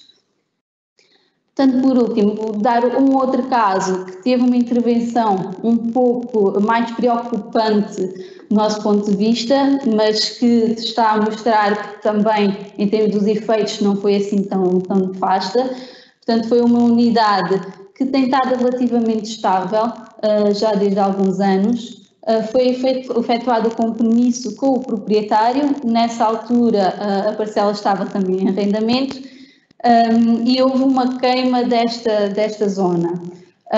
portanto, depois falámos novamente com o arrendatário de, de, desta unidade, foi, foram feitos vários trabalhos de recuperação e pelos, pela análise que temos feito e pela monitorização, parece-nos estar a recuperar. Inclusive, este ano uh, conseguimos um, ehm, perceber que a área efetivamente poderá ter que ser aumentada relativamente àquilo que tínhamos definido inicialmente. Portanto, em termos de, de monitorização de fauna e flora, em termos de fauna e flora desta, desta área, é uma das que tem sido mais complexa e mais completa. Portanto, temos tido lá desde as espécies mais importantes, mais relevantes em termos de fauna, como de flora. E à, medida que o tempo tem ido avançando e que a nossa monitorização se vai tornando cada vez mais completa, temos encontrado não só espécies características dos charcos, como espécies que são características dos charcos e que estão com algum estatuto de, de proteção, de conservação, uh, e tem-se mostrado que mesmo com, com esta queima foi feito depois uma limpeza em conjunto com o arrendatário e um, um, uma lavra muito superficial de metade do charco para ver se, se haveria um efeito uh, concreto desta queima, mas as comunidades têm estado a evoluir uh, favoravelmente à conservação de, desta zona. Portanto, esta área provavelmente uh, será uma área mais de acompanhamento, um, não de, de, uma intervenção tão, tão, tão profunda como, como as outras anteriores. Portanto, para resumir, isto são zonas muito bonitas, têm muitas espécies, mas do ponto de vista dos agricultores, um, normalmente são vistas como uma zona improdutiva, porque eles não a conseguem, não a conseguem utilizar, portanto encaram isto como uma perda de rendimento. Um, nós também queríamos mostrar um bocadinho como é que eles podem aproveitar estas, estas áreas e porque é que devem preservar este habitat. Primeiro que tudo, porque estão a cumprir a legislação, seja das declarações de impacto ambiental, seja das diretivas que existem, e assim evitam coimas ou limitações uh, tem a, a, possibilidade de, de acordo com o que está a ocorrer e que nós estamos a ver dos greenings e dos apoios na área, nas áreas agroambientais, este, estas zonas são umas zonas potenciais para poderem ir buscar alguns apoios e, claro, a imagem corporativa que passam da empresa que estão, de que estão uh, a falar. Uh, mas há outra coisa muito importante, que é os serviços que estas áreas podem prestar aos agricultores. E aqui temos a preservação de espécies, eh, que normalmente não é tão significativa em termos do, do, eh, da importância para os agricultores, mas são zonas que permitem também haver uma infiltração da, eh, da água no solo, que ocorre também tanto durante o verão, como são zonas muito mais impermeáveis, a infiltração vai se dando mais lentamente e vão permitir que haja uma infiltração do, da, da, água no solo durante um, um, período mais alargado de tempo. Isso vai fazer também com que como são zonas, como são zonas eh, bastante produtivas, uh, criam uma circulação de micronutrientes bastante importantes para a formação do solo uh, e que vai beneficiar depois a exploração em volta também. Uh, e que, tal como está muito na moda e, e não deixa de ser importante por isso, são importantes zonas de sequestro de carbono, tal como todas as zonas úmidas, e podem ser encaradas como um banco de polinizadores bastante importantes para as as culturas circundantes. E pronto, eh, era isto que tinha para vos dizer, agradeço imenso e vou passar então a palavra um, ao meu colega, aos meus colegas.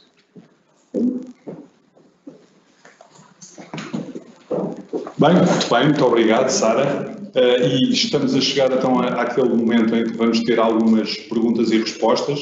Uh, para aqueles que nos estão a ouvir no Teams, na, no, na plataforma preferencial que tínhamos escolhido para este webinar. Então, há uma, um botão em cima uh, onde podem fazer as vossas questões. Algumas já estão respondidas. Nós vamos tentar uh, agora fazer aqui uma, alguma seleção, porque temos uh, cerca de 10 minutos até ouvirmos as palavras de encerramento da Sra. Ministra, que julgo que já nos está a ouvir.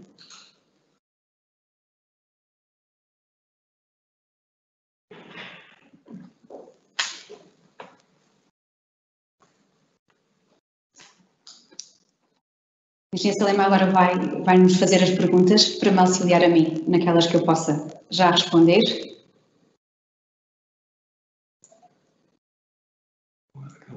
Da, da Ricardina. Sim. Então, bem, eu vou, vou, já desde já responder a, a uma das questões que socorri-me aqui de um papel, daquelas memórias auxiliares sempre muito gostáveis, da engenheira Ricardina Fiar, a quem agradeço desde já as perguntas que nos colocou. Eh, eu vou-as ler, portanto, as dias do EFMA não contemplam estas medidas, vão ser as dias reformuladas, é a primeira questão, e se sim, temos uma reformulação de projeto.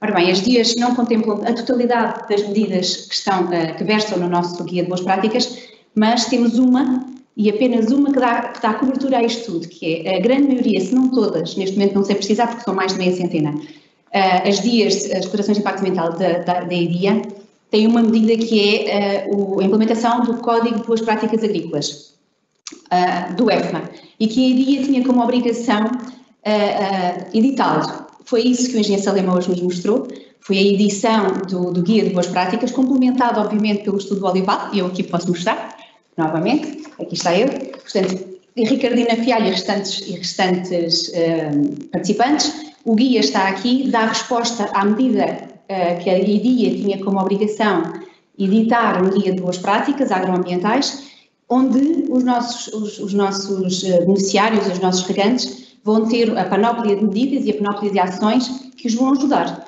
Quando a Ricardina diz se as dias vão ser reformuladas, não, não vão ser por isto mesmo. Portanto, existe uma medida única e que está aqui a resposta. Quando ela refere uh, como IDIA vincular os privados a estas medidas, estando, estando sendo estes privados os beneficiários da Alqueva, estão obviamente de acordo e segundo os regulamentos dos perímetros hidroagrícolas, automaticamente vinculados ao cumprimento destas medidas.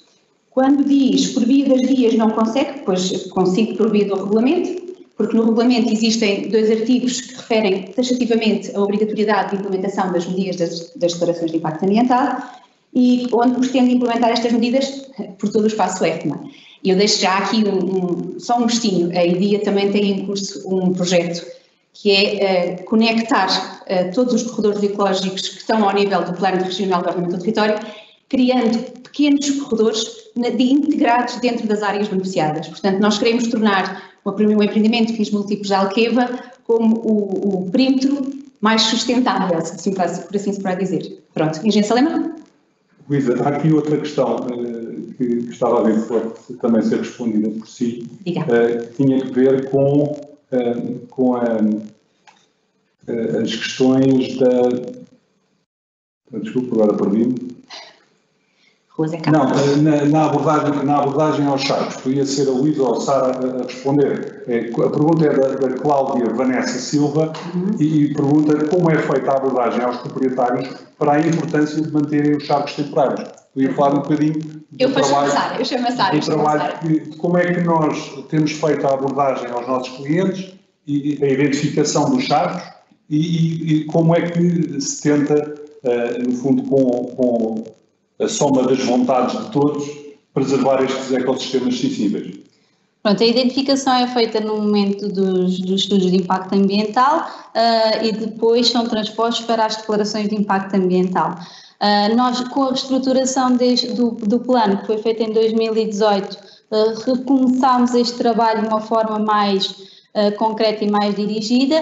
Portanto, nós temos a identificação das parcelas, contactamos os proprietários fazemos uma pequena apresentação do que é que são aqueles ecossistemas, o que é que eles devem ou não devem fazer um, e como é que podem uh, uh, usufruir daquelas, daquelas áreas e como é que podem ter também algum proveito uh, das mesmas. Portanto, fazemos essa, essa informação e depois, mediante a disponibilidade que eles têm e o interesse que tenham, fazemos então estes compromissos eh, que são basicamente um conjunto de regras da parte da EDIA e da parte do beneficiário que em conjunto têm em vista a conservação uh, destas áreas. Algumas passam apenas pelo acompanhamento e o controle daquilo que é feito, outras são medidas um pouco mais específicas de conservação e de recuperação uh, dessas áreas.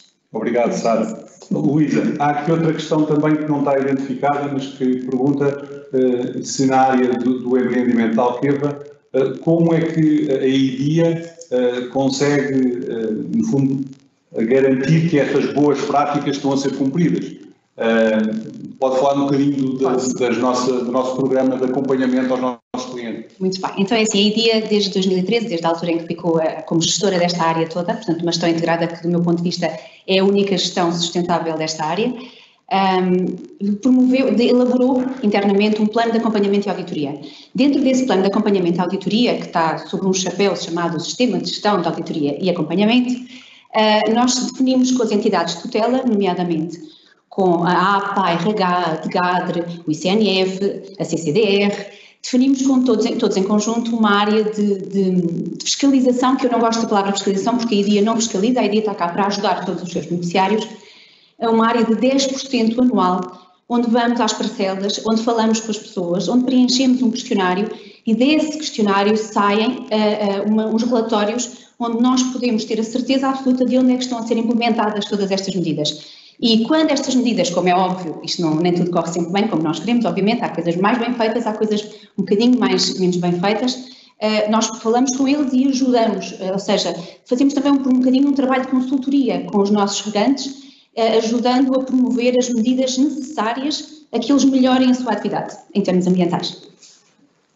Muito bem, obrigado, Luísa. Obrigado, uh, uh, São cinco em ponto e, portanto, nós gostamos de cumprir a hora.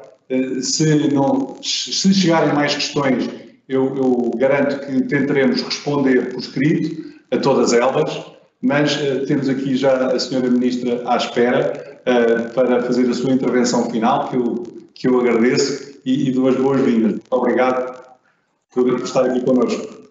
Muito obrigada, boa tarde a todas e a todos. Quero cumprimentar o Zé Pedro, Salema e todos os colaboradores da EDIA e felicitar por a apresentação deste trabalho que em boa hora o Ministério da Agricultura pediu e nada como agora uh, se mostra tão relevante e tão importante e já vou passar a explicar porque ao longo da minha uh, intervenção. Eu, cumprimentando a todos, uh, gostava de cumprimentar os dois convidados aqui presentes, o Nuno Oliveira e o Paulo Pereira, da Natural Business Intelligence, e permitam-me que não consigo ficar indiferente a uma imagem incrível nomeadamente do Paulo Pereira, eh, que está nesta participação com o bebê ao colo, e, e isso eh, acho que é eh, claro dos tempos que vivemos, em que o teletrabalho nos implica de outra maneira, mas é também um sinal dos tempos em relação à igualdade de género, quando numa semana tanto falámos sobre isto, quando vemos o pai a tomar conta do bebê de tão tenra idade e que num canguru uh, está a fazer um mimo e que me enche de inveja, Paulo, uh, de uh, não poder estar a fazer esse, esse mesmo papel. E também vos quero dizer, oi que coisa maravilhosa, e também vos quero dizer que com emoção, inclusivamente, de mãe que sou, de avó que também quero ser e espero que em breve, mas é com emoção que vejo sempre uma vida que nasce. Uh, e olhem, uh, mais não fosse, uh, mais nada tivesse para dizer, acho que aquilo que é a imagem que está neste painel com uma vida que nasceu é significativamente um, também um sinal daquilo que todos nós esperamos para o nosso futuro individual e coletivo. E, portanto, queria começar por dizer que, de facto, esta apresentação destes, destes trabalhos uh, é uma oportunidade para uh, podermos analisar, uh, refletir, discutirmos opções de planeamento, de gestão agrícola, para podermos efetivamente melhorar a funcionalidade ecológica nomeadamente nos sistemas mais intensivos e, neste caso em concreto, na zona de influência da Alqueva. E, e, por falar em Alqueva, não posso deixar de começar por mencionar aquilo que o investimento uh, nas infraestruturas de fins múltiplos do Alqueva uh, veio a contribuir para a grande mudança, uh, diria, uh, estrutural nesse território, tendo por base a agricultura, uma agricultura mais competitiva, mais moderna e criadora de mais riqueza, uh, mas também dar conta de como a agricultura mudou conforme nós próprios pudemos vir um, a ter presentes ainda de forma preliminar naquilo que foram os primeiros resultados do recenseamento agrícola de 2019, que agora foram conhecidos e aguardamos o resultado final desse mesmo, uh, dessa mesma avaliação. E destaco aqui alguns. Uh, um deles, a empresarialização da agricultura, que cresceu com a duplicação em 10 anos do número de sociedades agrícolas, a diminuição do abandono da atividade agrícola e o aumento da dimensão média das explorações agrícolas, devido sobretudo ao redimensionamento das explorações uh, de média dimensão, a um elevado uh, investimento na horticultura, uh, que se reflete no aumento da superfície agrícola de 7% entre 2009 e 2019 e de uma área de estufas de 11% no mesmo período, mas também numa forte aposta na instalação e na modernização de olivais, de pomares, de culturas emergentes, como é o caso dos frutos vermelhos ou do abacate, mas também das culturas tradicionais, como é o caso dos citrinos, em 16%, ou das macieiras. E em relação a isto, eh, permitam-me também que vos diga que no âmbito daquilo que é o diálogo estruturado que a Comissão está a fazer com os Estados-membros e que já começou com Portugal, uh, elenca alguns problemas que são oportunidades para o nosso país, uh, nomeadamente as duas dimensões que mencionei primeiro, a empresarial, ai meu Deus, agora fugiu uma palavra, tornar mais empresarial a agricultura, melhor dizendo, é mais fácil assim, também como um, aumentar a dimensão média das explorações, seja através do emparcelamento, seja através das organizações de produtores. São essas condições que um, a, a, Comissão Europeia entende que são essenciais para podermos garantir a nossa autonomia estratégica, não só de Portugal, mas no seio de um projeto comum que é a política agrícola comum. Mas queria dizer que o investimento da modernização dos pomares, das vinhas e dos olivais refletiu-se uh, também no aumento do regadio, que passou a beneficiar 70% dos pomares de frutos frescos. E esta uh, é uma dinâmica que importa manter, até porque estamos a produzir mais para consumo nacional, para consumo interno, mas também para os mercados externos. E o Programa Nacional de Regadio, com investimento total de 560 milhões de euros, eh, permitiu reforçar os instrumentos de apoio ao investimento no regadio, eh, particularmente naquilo que diz respeito às componentes de reabilitação e modernização de regadios e à construção de novas áreas a regar. Foram até o momento aprovadas 59 candidaturas, beneficiando mais de 67 mil hectares, a que corresponde um investimento público de 392 milhões de euros. Recentemente, pudemos aprovar as candidaturas uh, referentes ao aproveitamento hidroagrícola de Mortágua, de Mortágua da Gardanha Sul, do Bloco Norte um, ehm, do, do, aproveitamento do Vale de Vilariça e do Circuito Hidráulico de Reguengos de Monsaraz, num montante global de 50 milhões de euros. E com estes projetos, nós pretendemos não só minimizar o risco associado à atividade uh, agrícola, como promover uma gestão mais eficiente dos recursos hídricos.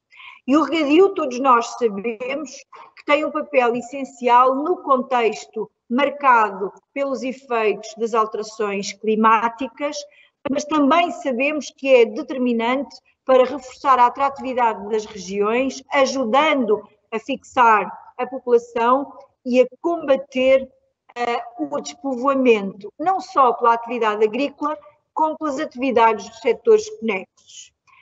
É muito importante uh, também podermos garantir a segurança das barragens para que cumpram os regulamentos da segurança de barragens. Aprovámos também recentemente 36 candidaturas que visam a elaboração de estudos e de projetos de melhoria das condições de segurança das barragens, no montante de 1,6 milhões de euros. Mas não queremos ficar por aqui, pretendemos sim dar continuidade à resposta que se impõe aos desafios que decorrem das alterações climáticas e à necessidade de podermos ajustar os nossos sistemas de produção, para que se possam adaptar, para que possam ser mais resilientes, para que possam ser mais competitivos. E por isso, nós prevemos, no âmbito do Programa Nacional de Investimentos 2030, um reforço em 750 milhões de euros para dar continuidade à Estratégia Nacional de Intervenção baseada na revitalização das áreas regadas existentes e na criação de novas reservas hídricas e as respectivas áreas regadas.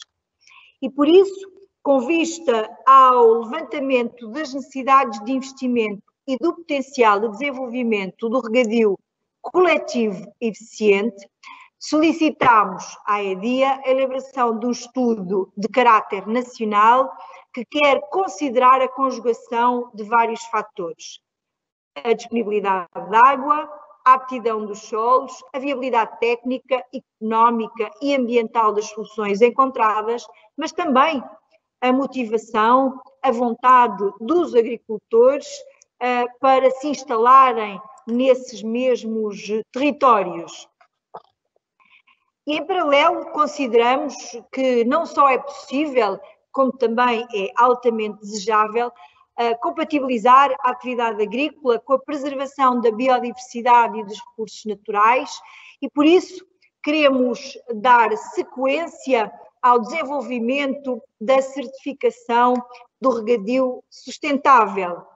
Queremos reconhecer a adoção de boas práticas agrícolas baseadas nas diversas componentes, nomeadamente no uso eficiente da água e da conservação do solo. E porque entendemos que o consumidor tem um papel central nas suas escolhas, que cada vez mais tem que estar consciente do papel na sua alimentação, na promoção da saúde e do bem-estar, na maior exigência quanto aos modos de produção e da proteção da biodiversidade, sabemos bem qual é o caminho que temos que trilhar para podermos ter uma produção alimentar eh, mais justa, mais saudável, mais amiga do ambiente e de acordo com a estratégia do prado ao prato, e por isso nós entendemos também que é essencial que, a propósito das culturas que têm sido mais polémicas no espaço mediático, nomeadamente o olival, o amendoal, uh, o abacate ehm, no Algarve, uh, mas bem como os frutos vermelhos na região do litoral uh, alentejano, nós podermos ter aqui um papel mais interventivo de elucidação em relação a estas matérias.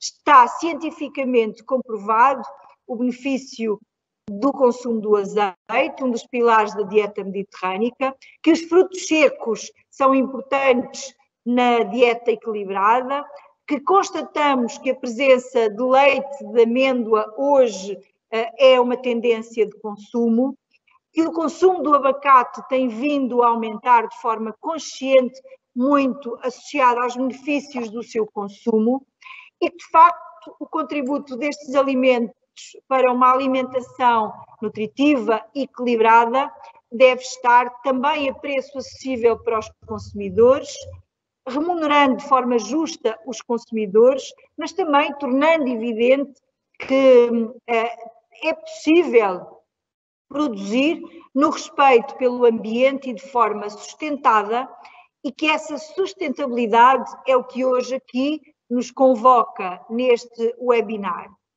e é necessário intensificar a produção agrícola, mas sempre de forma sustentável. E esta intensificação sustentável implica um uso mais eficiente dos recursos e a valorização um, dos processos ecológicos.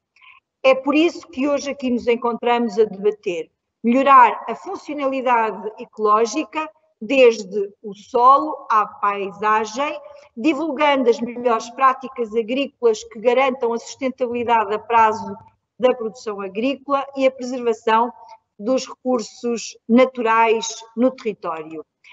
As decisões que tomamos, produtores, gestores de território, cidadãos e decisores políticos, têm que estar informadas em evidências e em conhecimento científico o mais atual possível.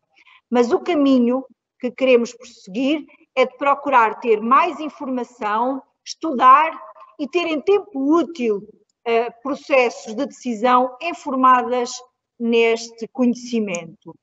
Queremos reforçar a sustentabilidade dos sistemas intensivos e promover a confiança entre os consumidores e os produtores de forma transparente e de forma muito clara uh, a todas e a todos. É nesse sentido que nós nos encontramos a desenvolver um projeto de resolução do Conselho de Ministros para nos comprometermos politicamente com um objetivo uh, central de definir as orientações e as recomendações uh, relativas à informação e à sustentabilidade da atividade agrícola mais intensiva, mais competitiva e mais moderna, que contempla objetivos muito específicos, que destaco a consolidação e a melhoria dos sistemas e dos processos de recolha de informação, em especial nestes sistemas mais intensivos, estabelecer um quadro normativo de práticas a adotar para podermos assegurar a sustentabilidade dos sistemas produtivos neste registro, determinar a existência do regime de certificação de produção sustentável com reconhecimento internacional e incrementar o nível de conhecimento técnico dos agricultores. Estabeleceremos, por isso, regras para registro dos operadores que se dedicam à produção primária de produtos vegetais e que será implementado uh, através de um caderno de campo digital, com vista não só à melhoria da recolha da informação, como à sua disponibilização acerca de sistemas produtivos e das práticas culturais. Queremos promover ações que contribuam para um maior conhecimento técnico dos agricultores e dos vários agentes de intervenção na atividade agrícola, nomeadamente uma ampla uh, divulgação dos códigos e manuais de boas práticas relacionadas com a sustentabilidade ambiental, da agricultura de regadio, como é o caso das duas uh, publicações que hoje aqui apresentamos. Pretendemos, por isso, ter um sistema que certifique a sustentabilidade ambiental da agricultura de regadio, assegurando uma relação de maior transparência e confiança entre produtores e consumidores. E temos todos um papel muito importante no futuro que uh, queremos construir. Um futuro que tem que ser mais sustentável, mais resiliente e com maior rendimento para todo o território e com todos os seus agentes, e para isso queremos contar com todos. Reforço também que nos encontramos neste momento um, ehm, a presidir ao Conselho da Europa, onde no domínio da agricultura temos um papel também importante, onde a digitalização e a construção de uma arquitetura mais verde são alicerces da reforma da PAC que estamos a fazer, onde queremos garantir que essa reforma não deixa ninguém para trás e coloca os instrumentos financeiros, o apoio técnico uh, e o conhecimento científico ao serviço de todas e de todos, independentemente da sua dimensão. E, portanto, quero eh, também dizer-vos que nos encontramos todos imbuídos do mesmo espírito e quero contar convosco, com todos vós, para a construção das melhores iniciativas de política pública para poderem também ser essas mesmas orientações que vão nortear a intervenção privada no terreno para garantirmos a segurança dos nossos sistemas alimentares e que conseguimos garantir a autonomia estratégica um, no âmbito daquilo que a política agrícola comum veio a fazer ao longo de décadas e que aqui, claramente, nesta hum, pandemia, veio mostrar uh, que foi eficaz.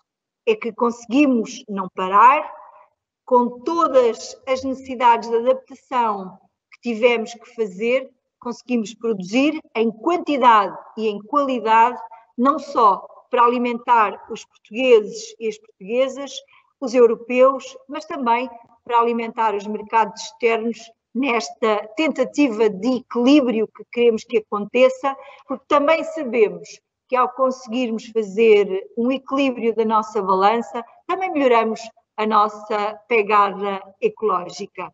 E, portanto, agradeço o vosso contributo hoje nesta sessão e contamos convosco não só para os desafios eh, que se avizinham, nomeadamente o grande desafio que lançámos agora à EDIA para a construção deste este referencial acerca uh, do regadio para o país, mas também depois na implementação da política pública para sermos muito consentâneos com os objetivos a que nos propomos, sejam eles a nível mundial, através dos, dos Objetivos de Desenvolvimento Sustentável, seja depois através do uh, Pacto Ecológico Europeu, ou depois daquilo que são os compromissos que emanam uh, das estratégias e dos, do programa de governo. E, portanto, contamos com todos, contam connosco também, trabalhamos juntos por este nosso futuro uh, coletivo. Muito obrigada a todos. Muito obrigado, muito obrigado, Senhora Ministra, pelas suas simpáticas palavras e também pela confiança que demonstrou uh, na equipa e na estrutura da IDIA. Uh, Dizer-lhe só uh, acabar com uma nota que o confinamento também tem alguns aspectos positivos. conseguimos facilitar a sua presença neste, neste nosso evento, poupando umas, umas centenas de quilómetros. e conseguimos também duplicar a nossa capacidade de auditório. Portanto, a IDIA tem aqui um auditório na sede com cerca de 150 pessoas e tivemos 300 live, portanto, ao vivo, nos vários canais. Tivemos ao vivo no, no Teams, mas também no YouTube e no Facebook. Mas esta, esta audiência vai poder ainda ser alargada porque os vídeos vão ficar disponíveis e vão poder ser uh, revisitados quando entenderem. Muito obrigado, muito obrigado, Sr. Ministro, mais uma vez, e a todos os participantes. Relembro só uh, uh, o que disse no princípio, que os, os, trabalhos que aqui falámos, o Guia de Boas Práticas, está disponível no site da IDIA uh, desde, desde há, há, algumas semanas e todos os beneficiários da Alqueva terão o seu exemplar em papel e ainda o estudo do Olival, que também falámos e que a Sra. Ministra acabou de referir, também estará dentro de minutos no site da IDIA disponível para consulta. Muito obrigado a todos e até uma próxima oportunidade.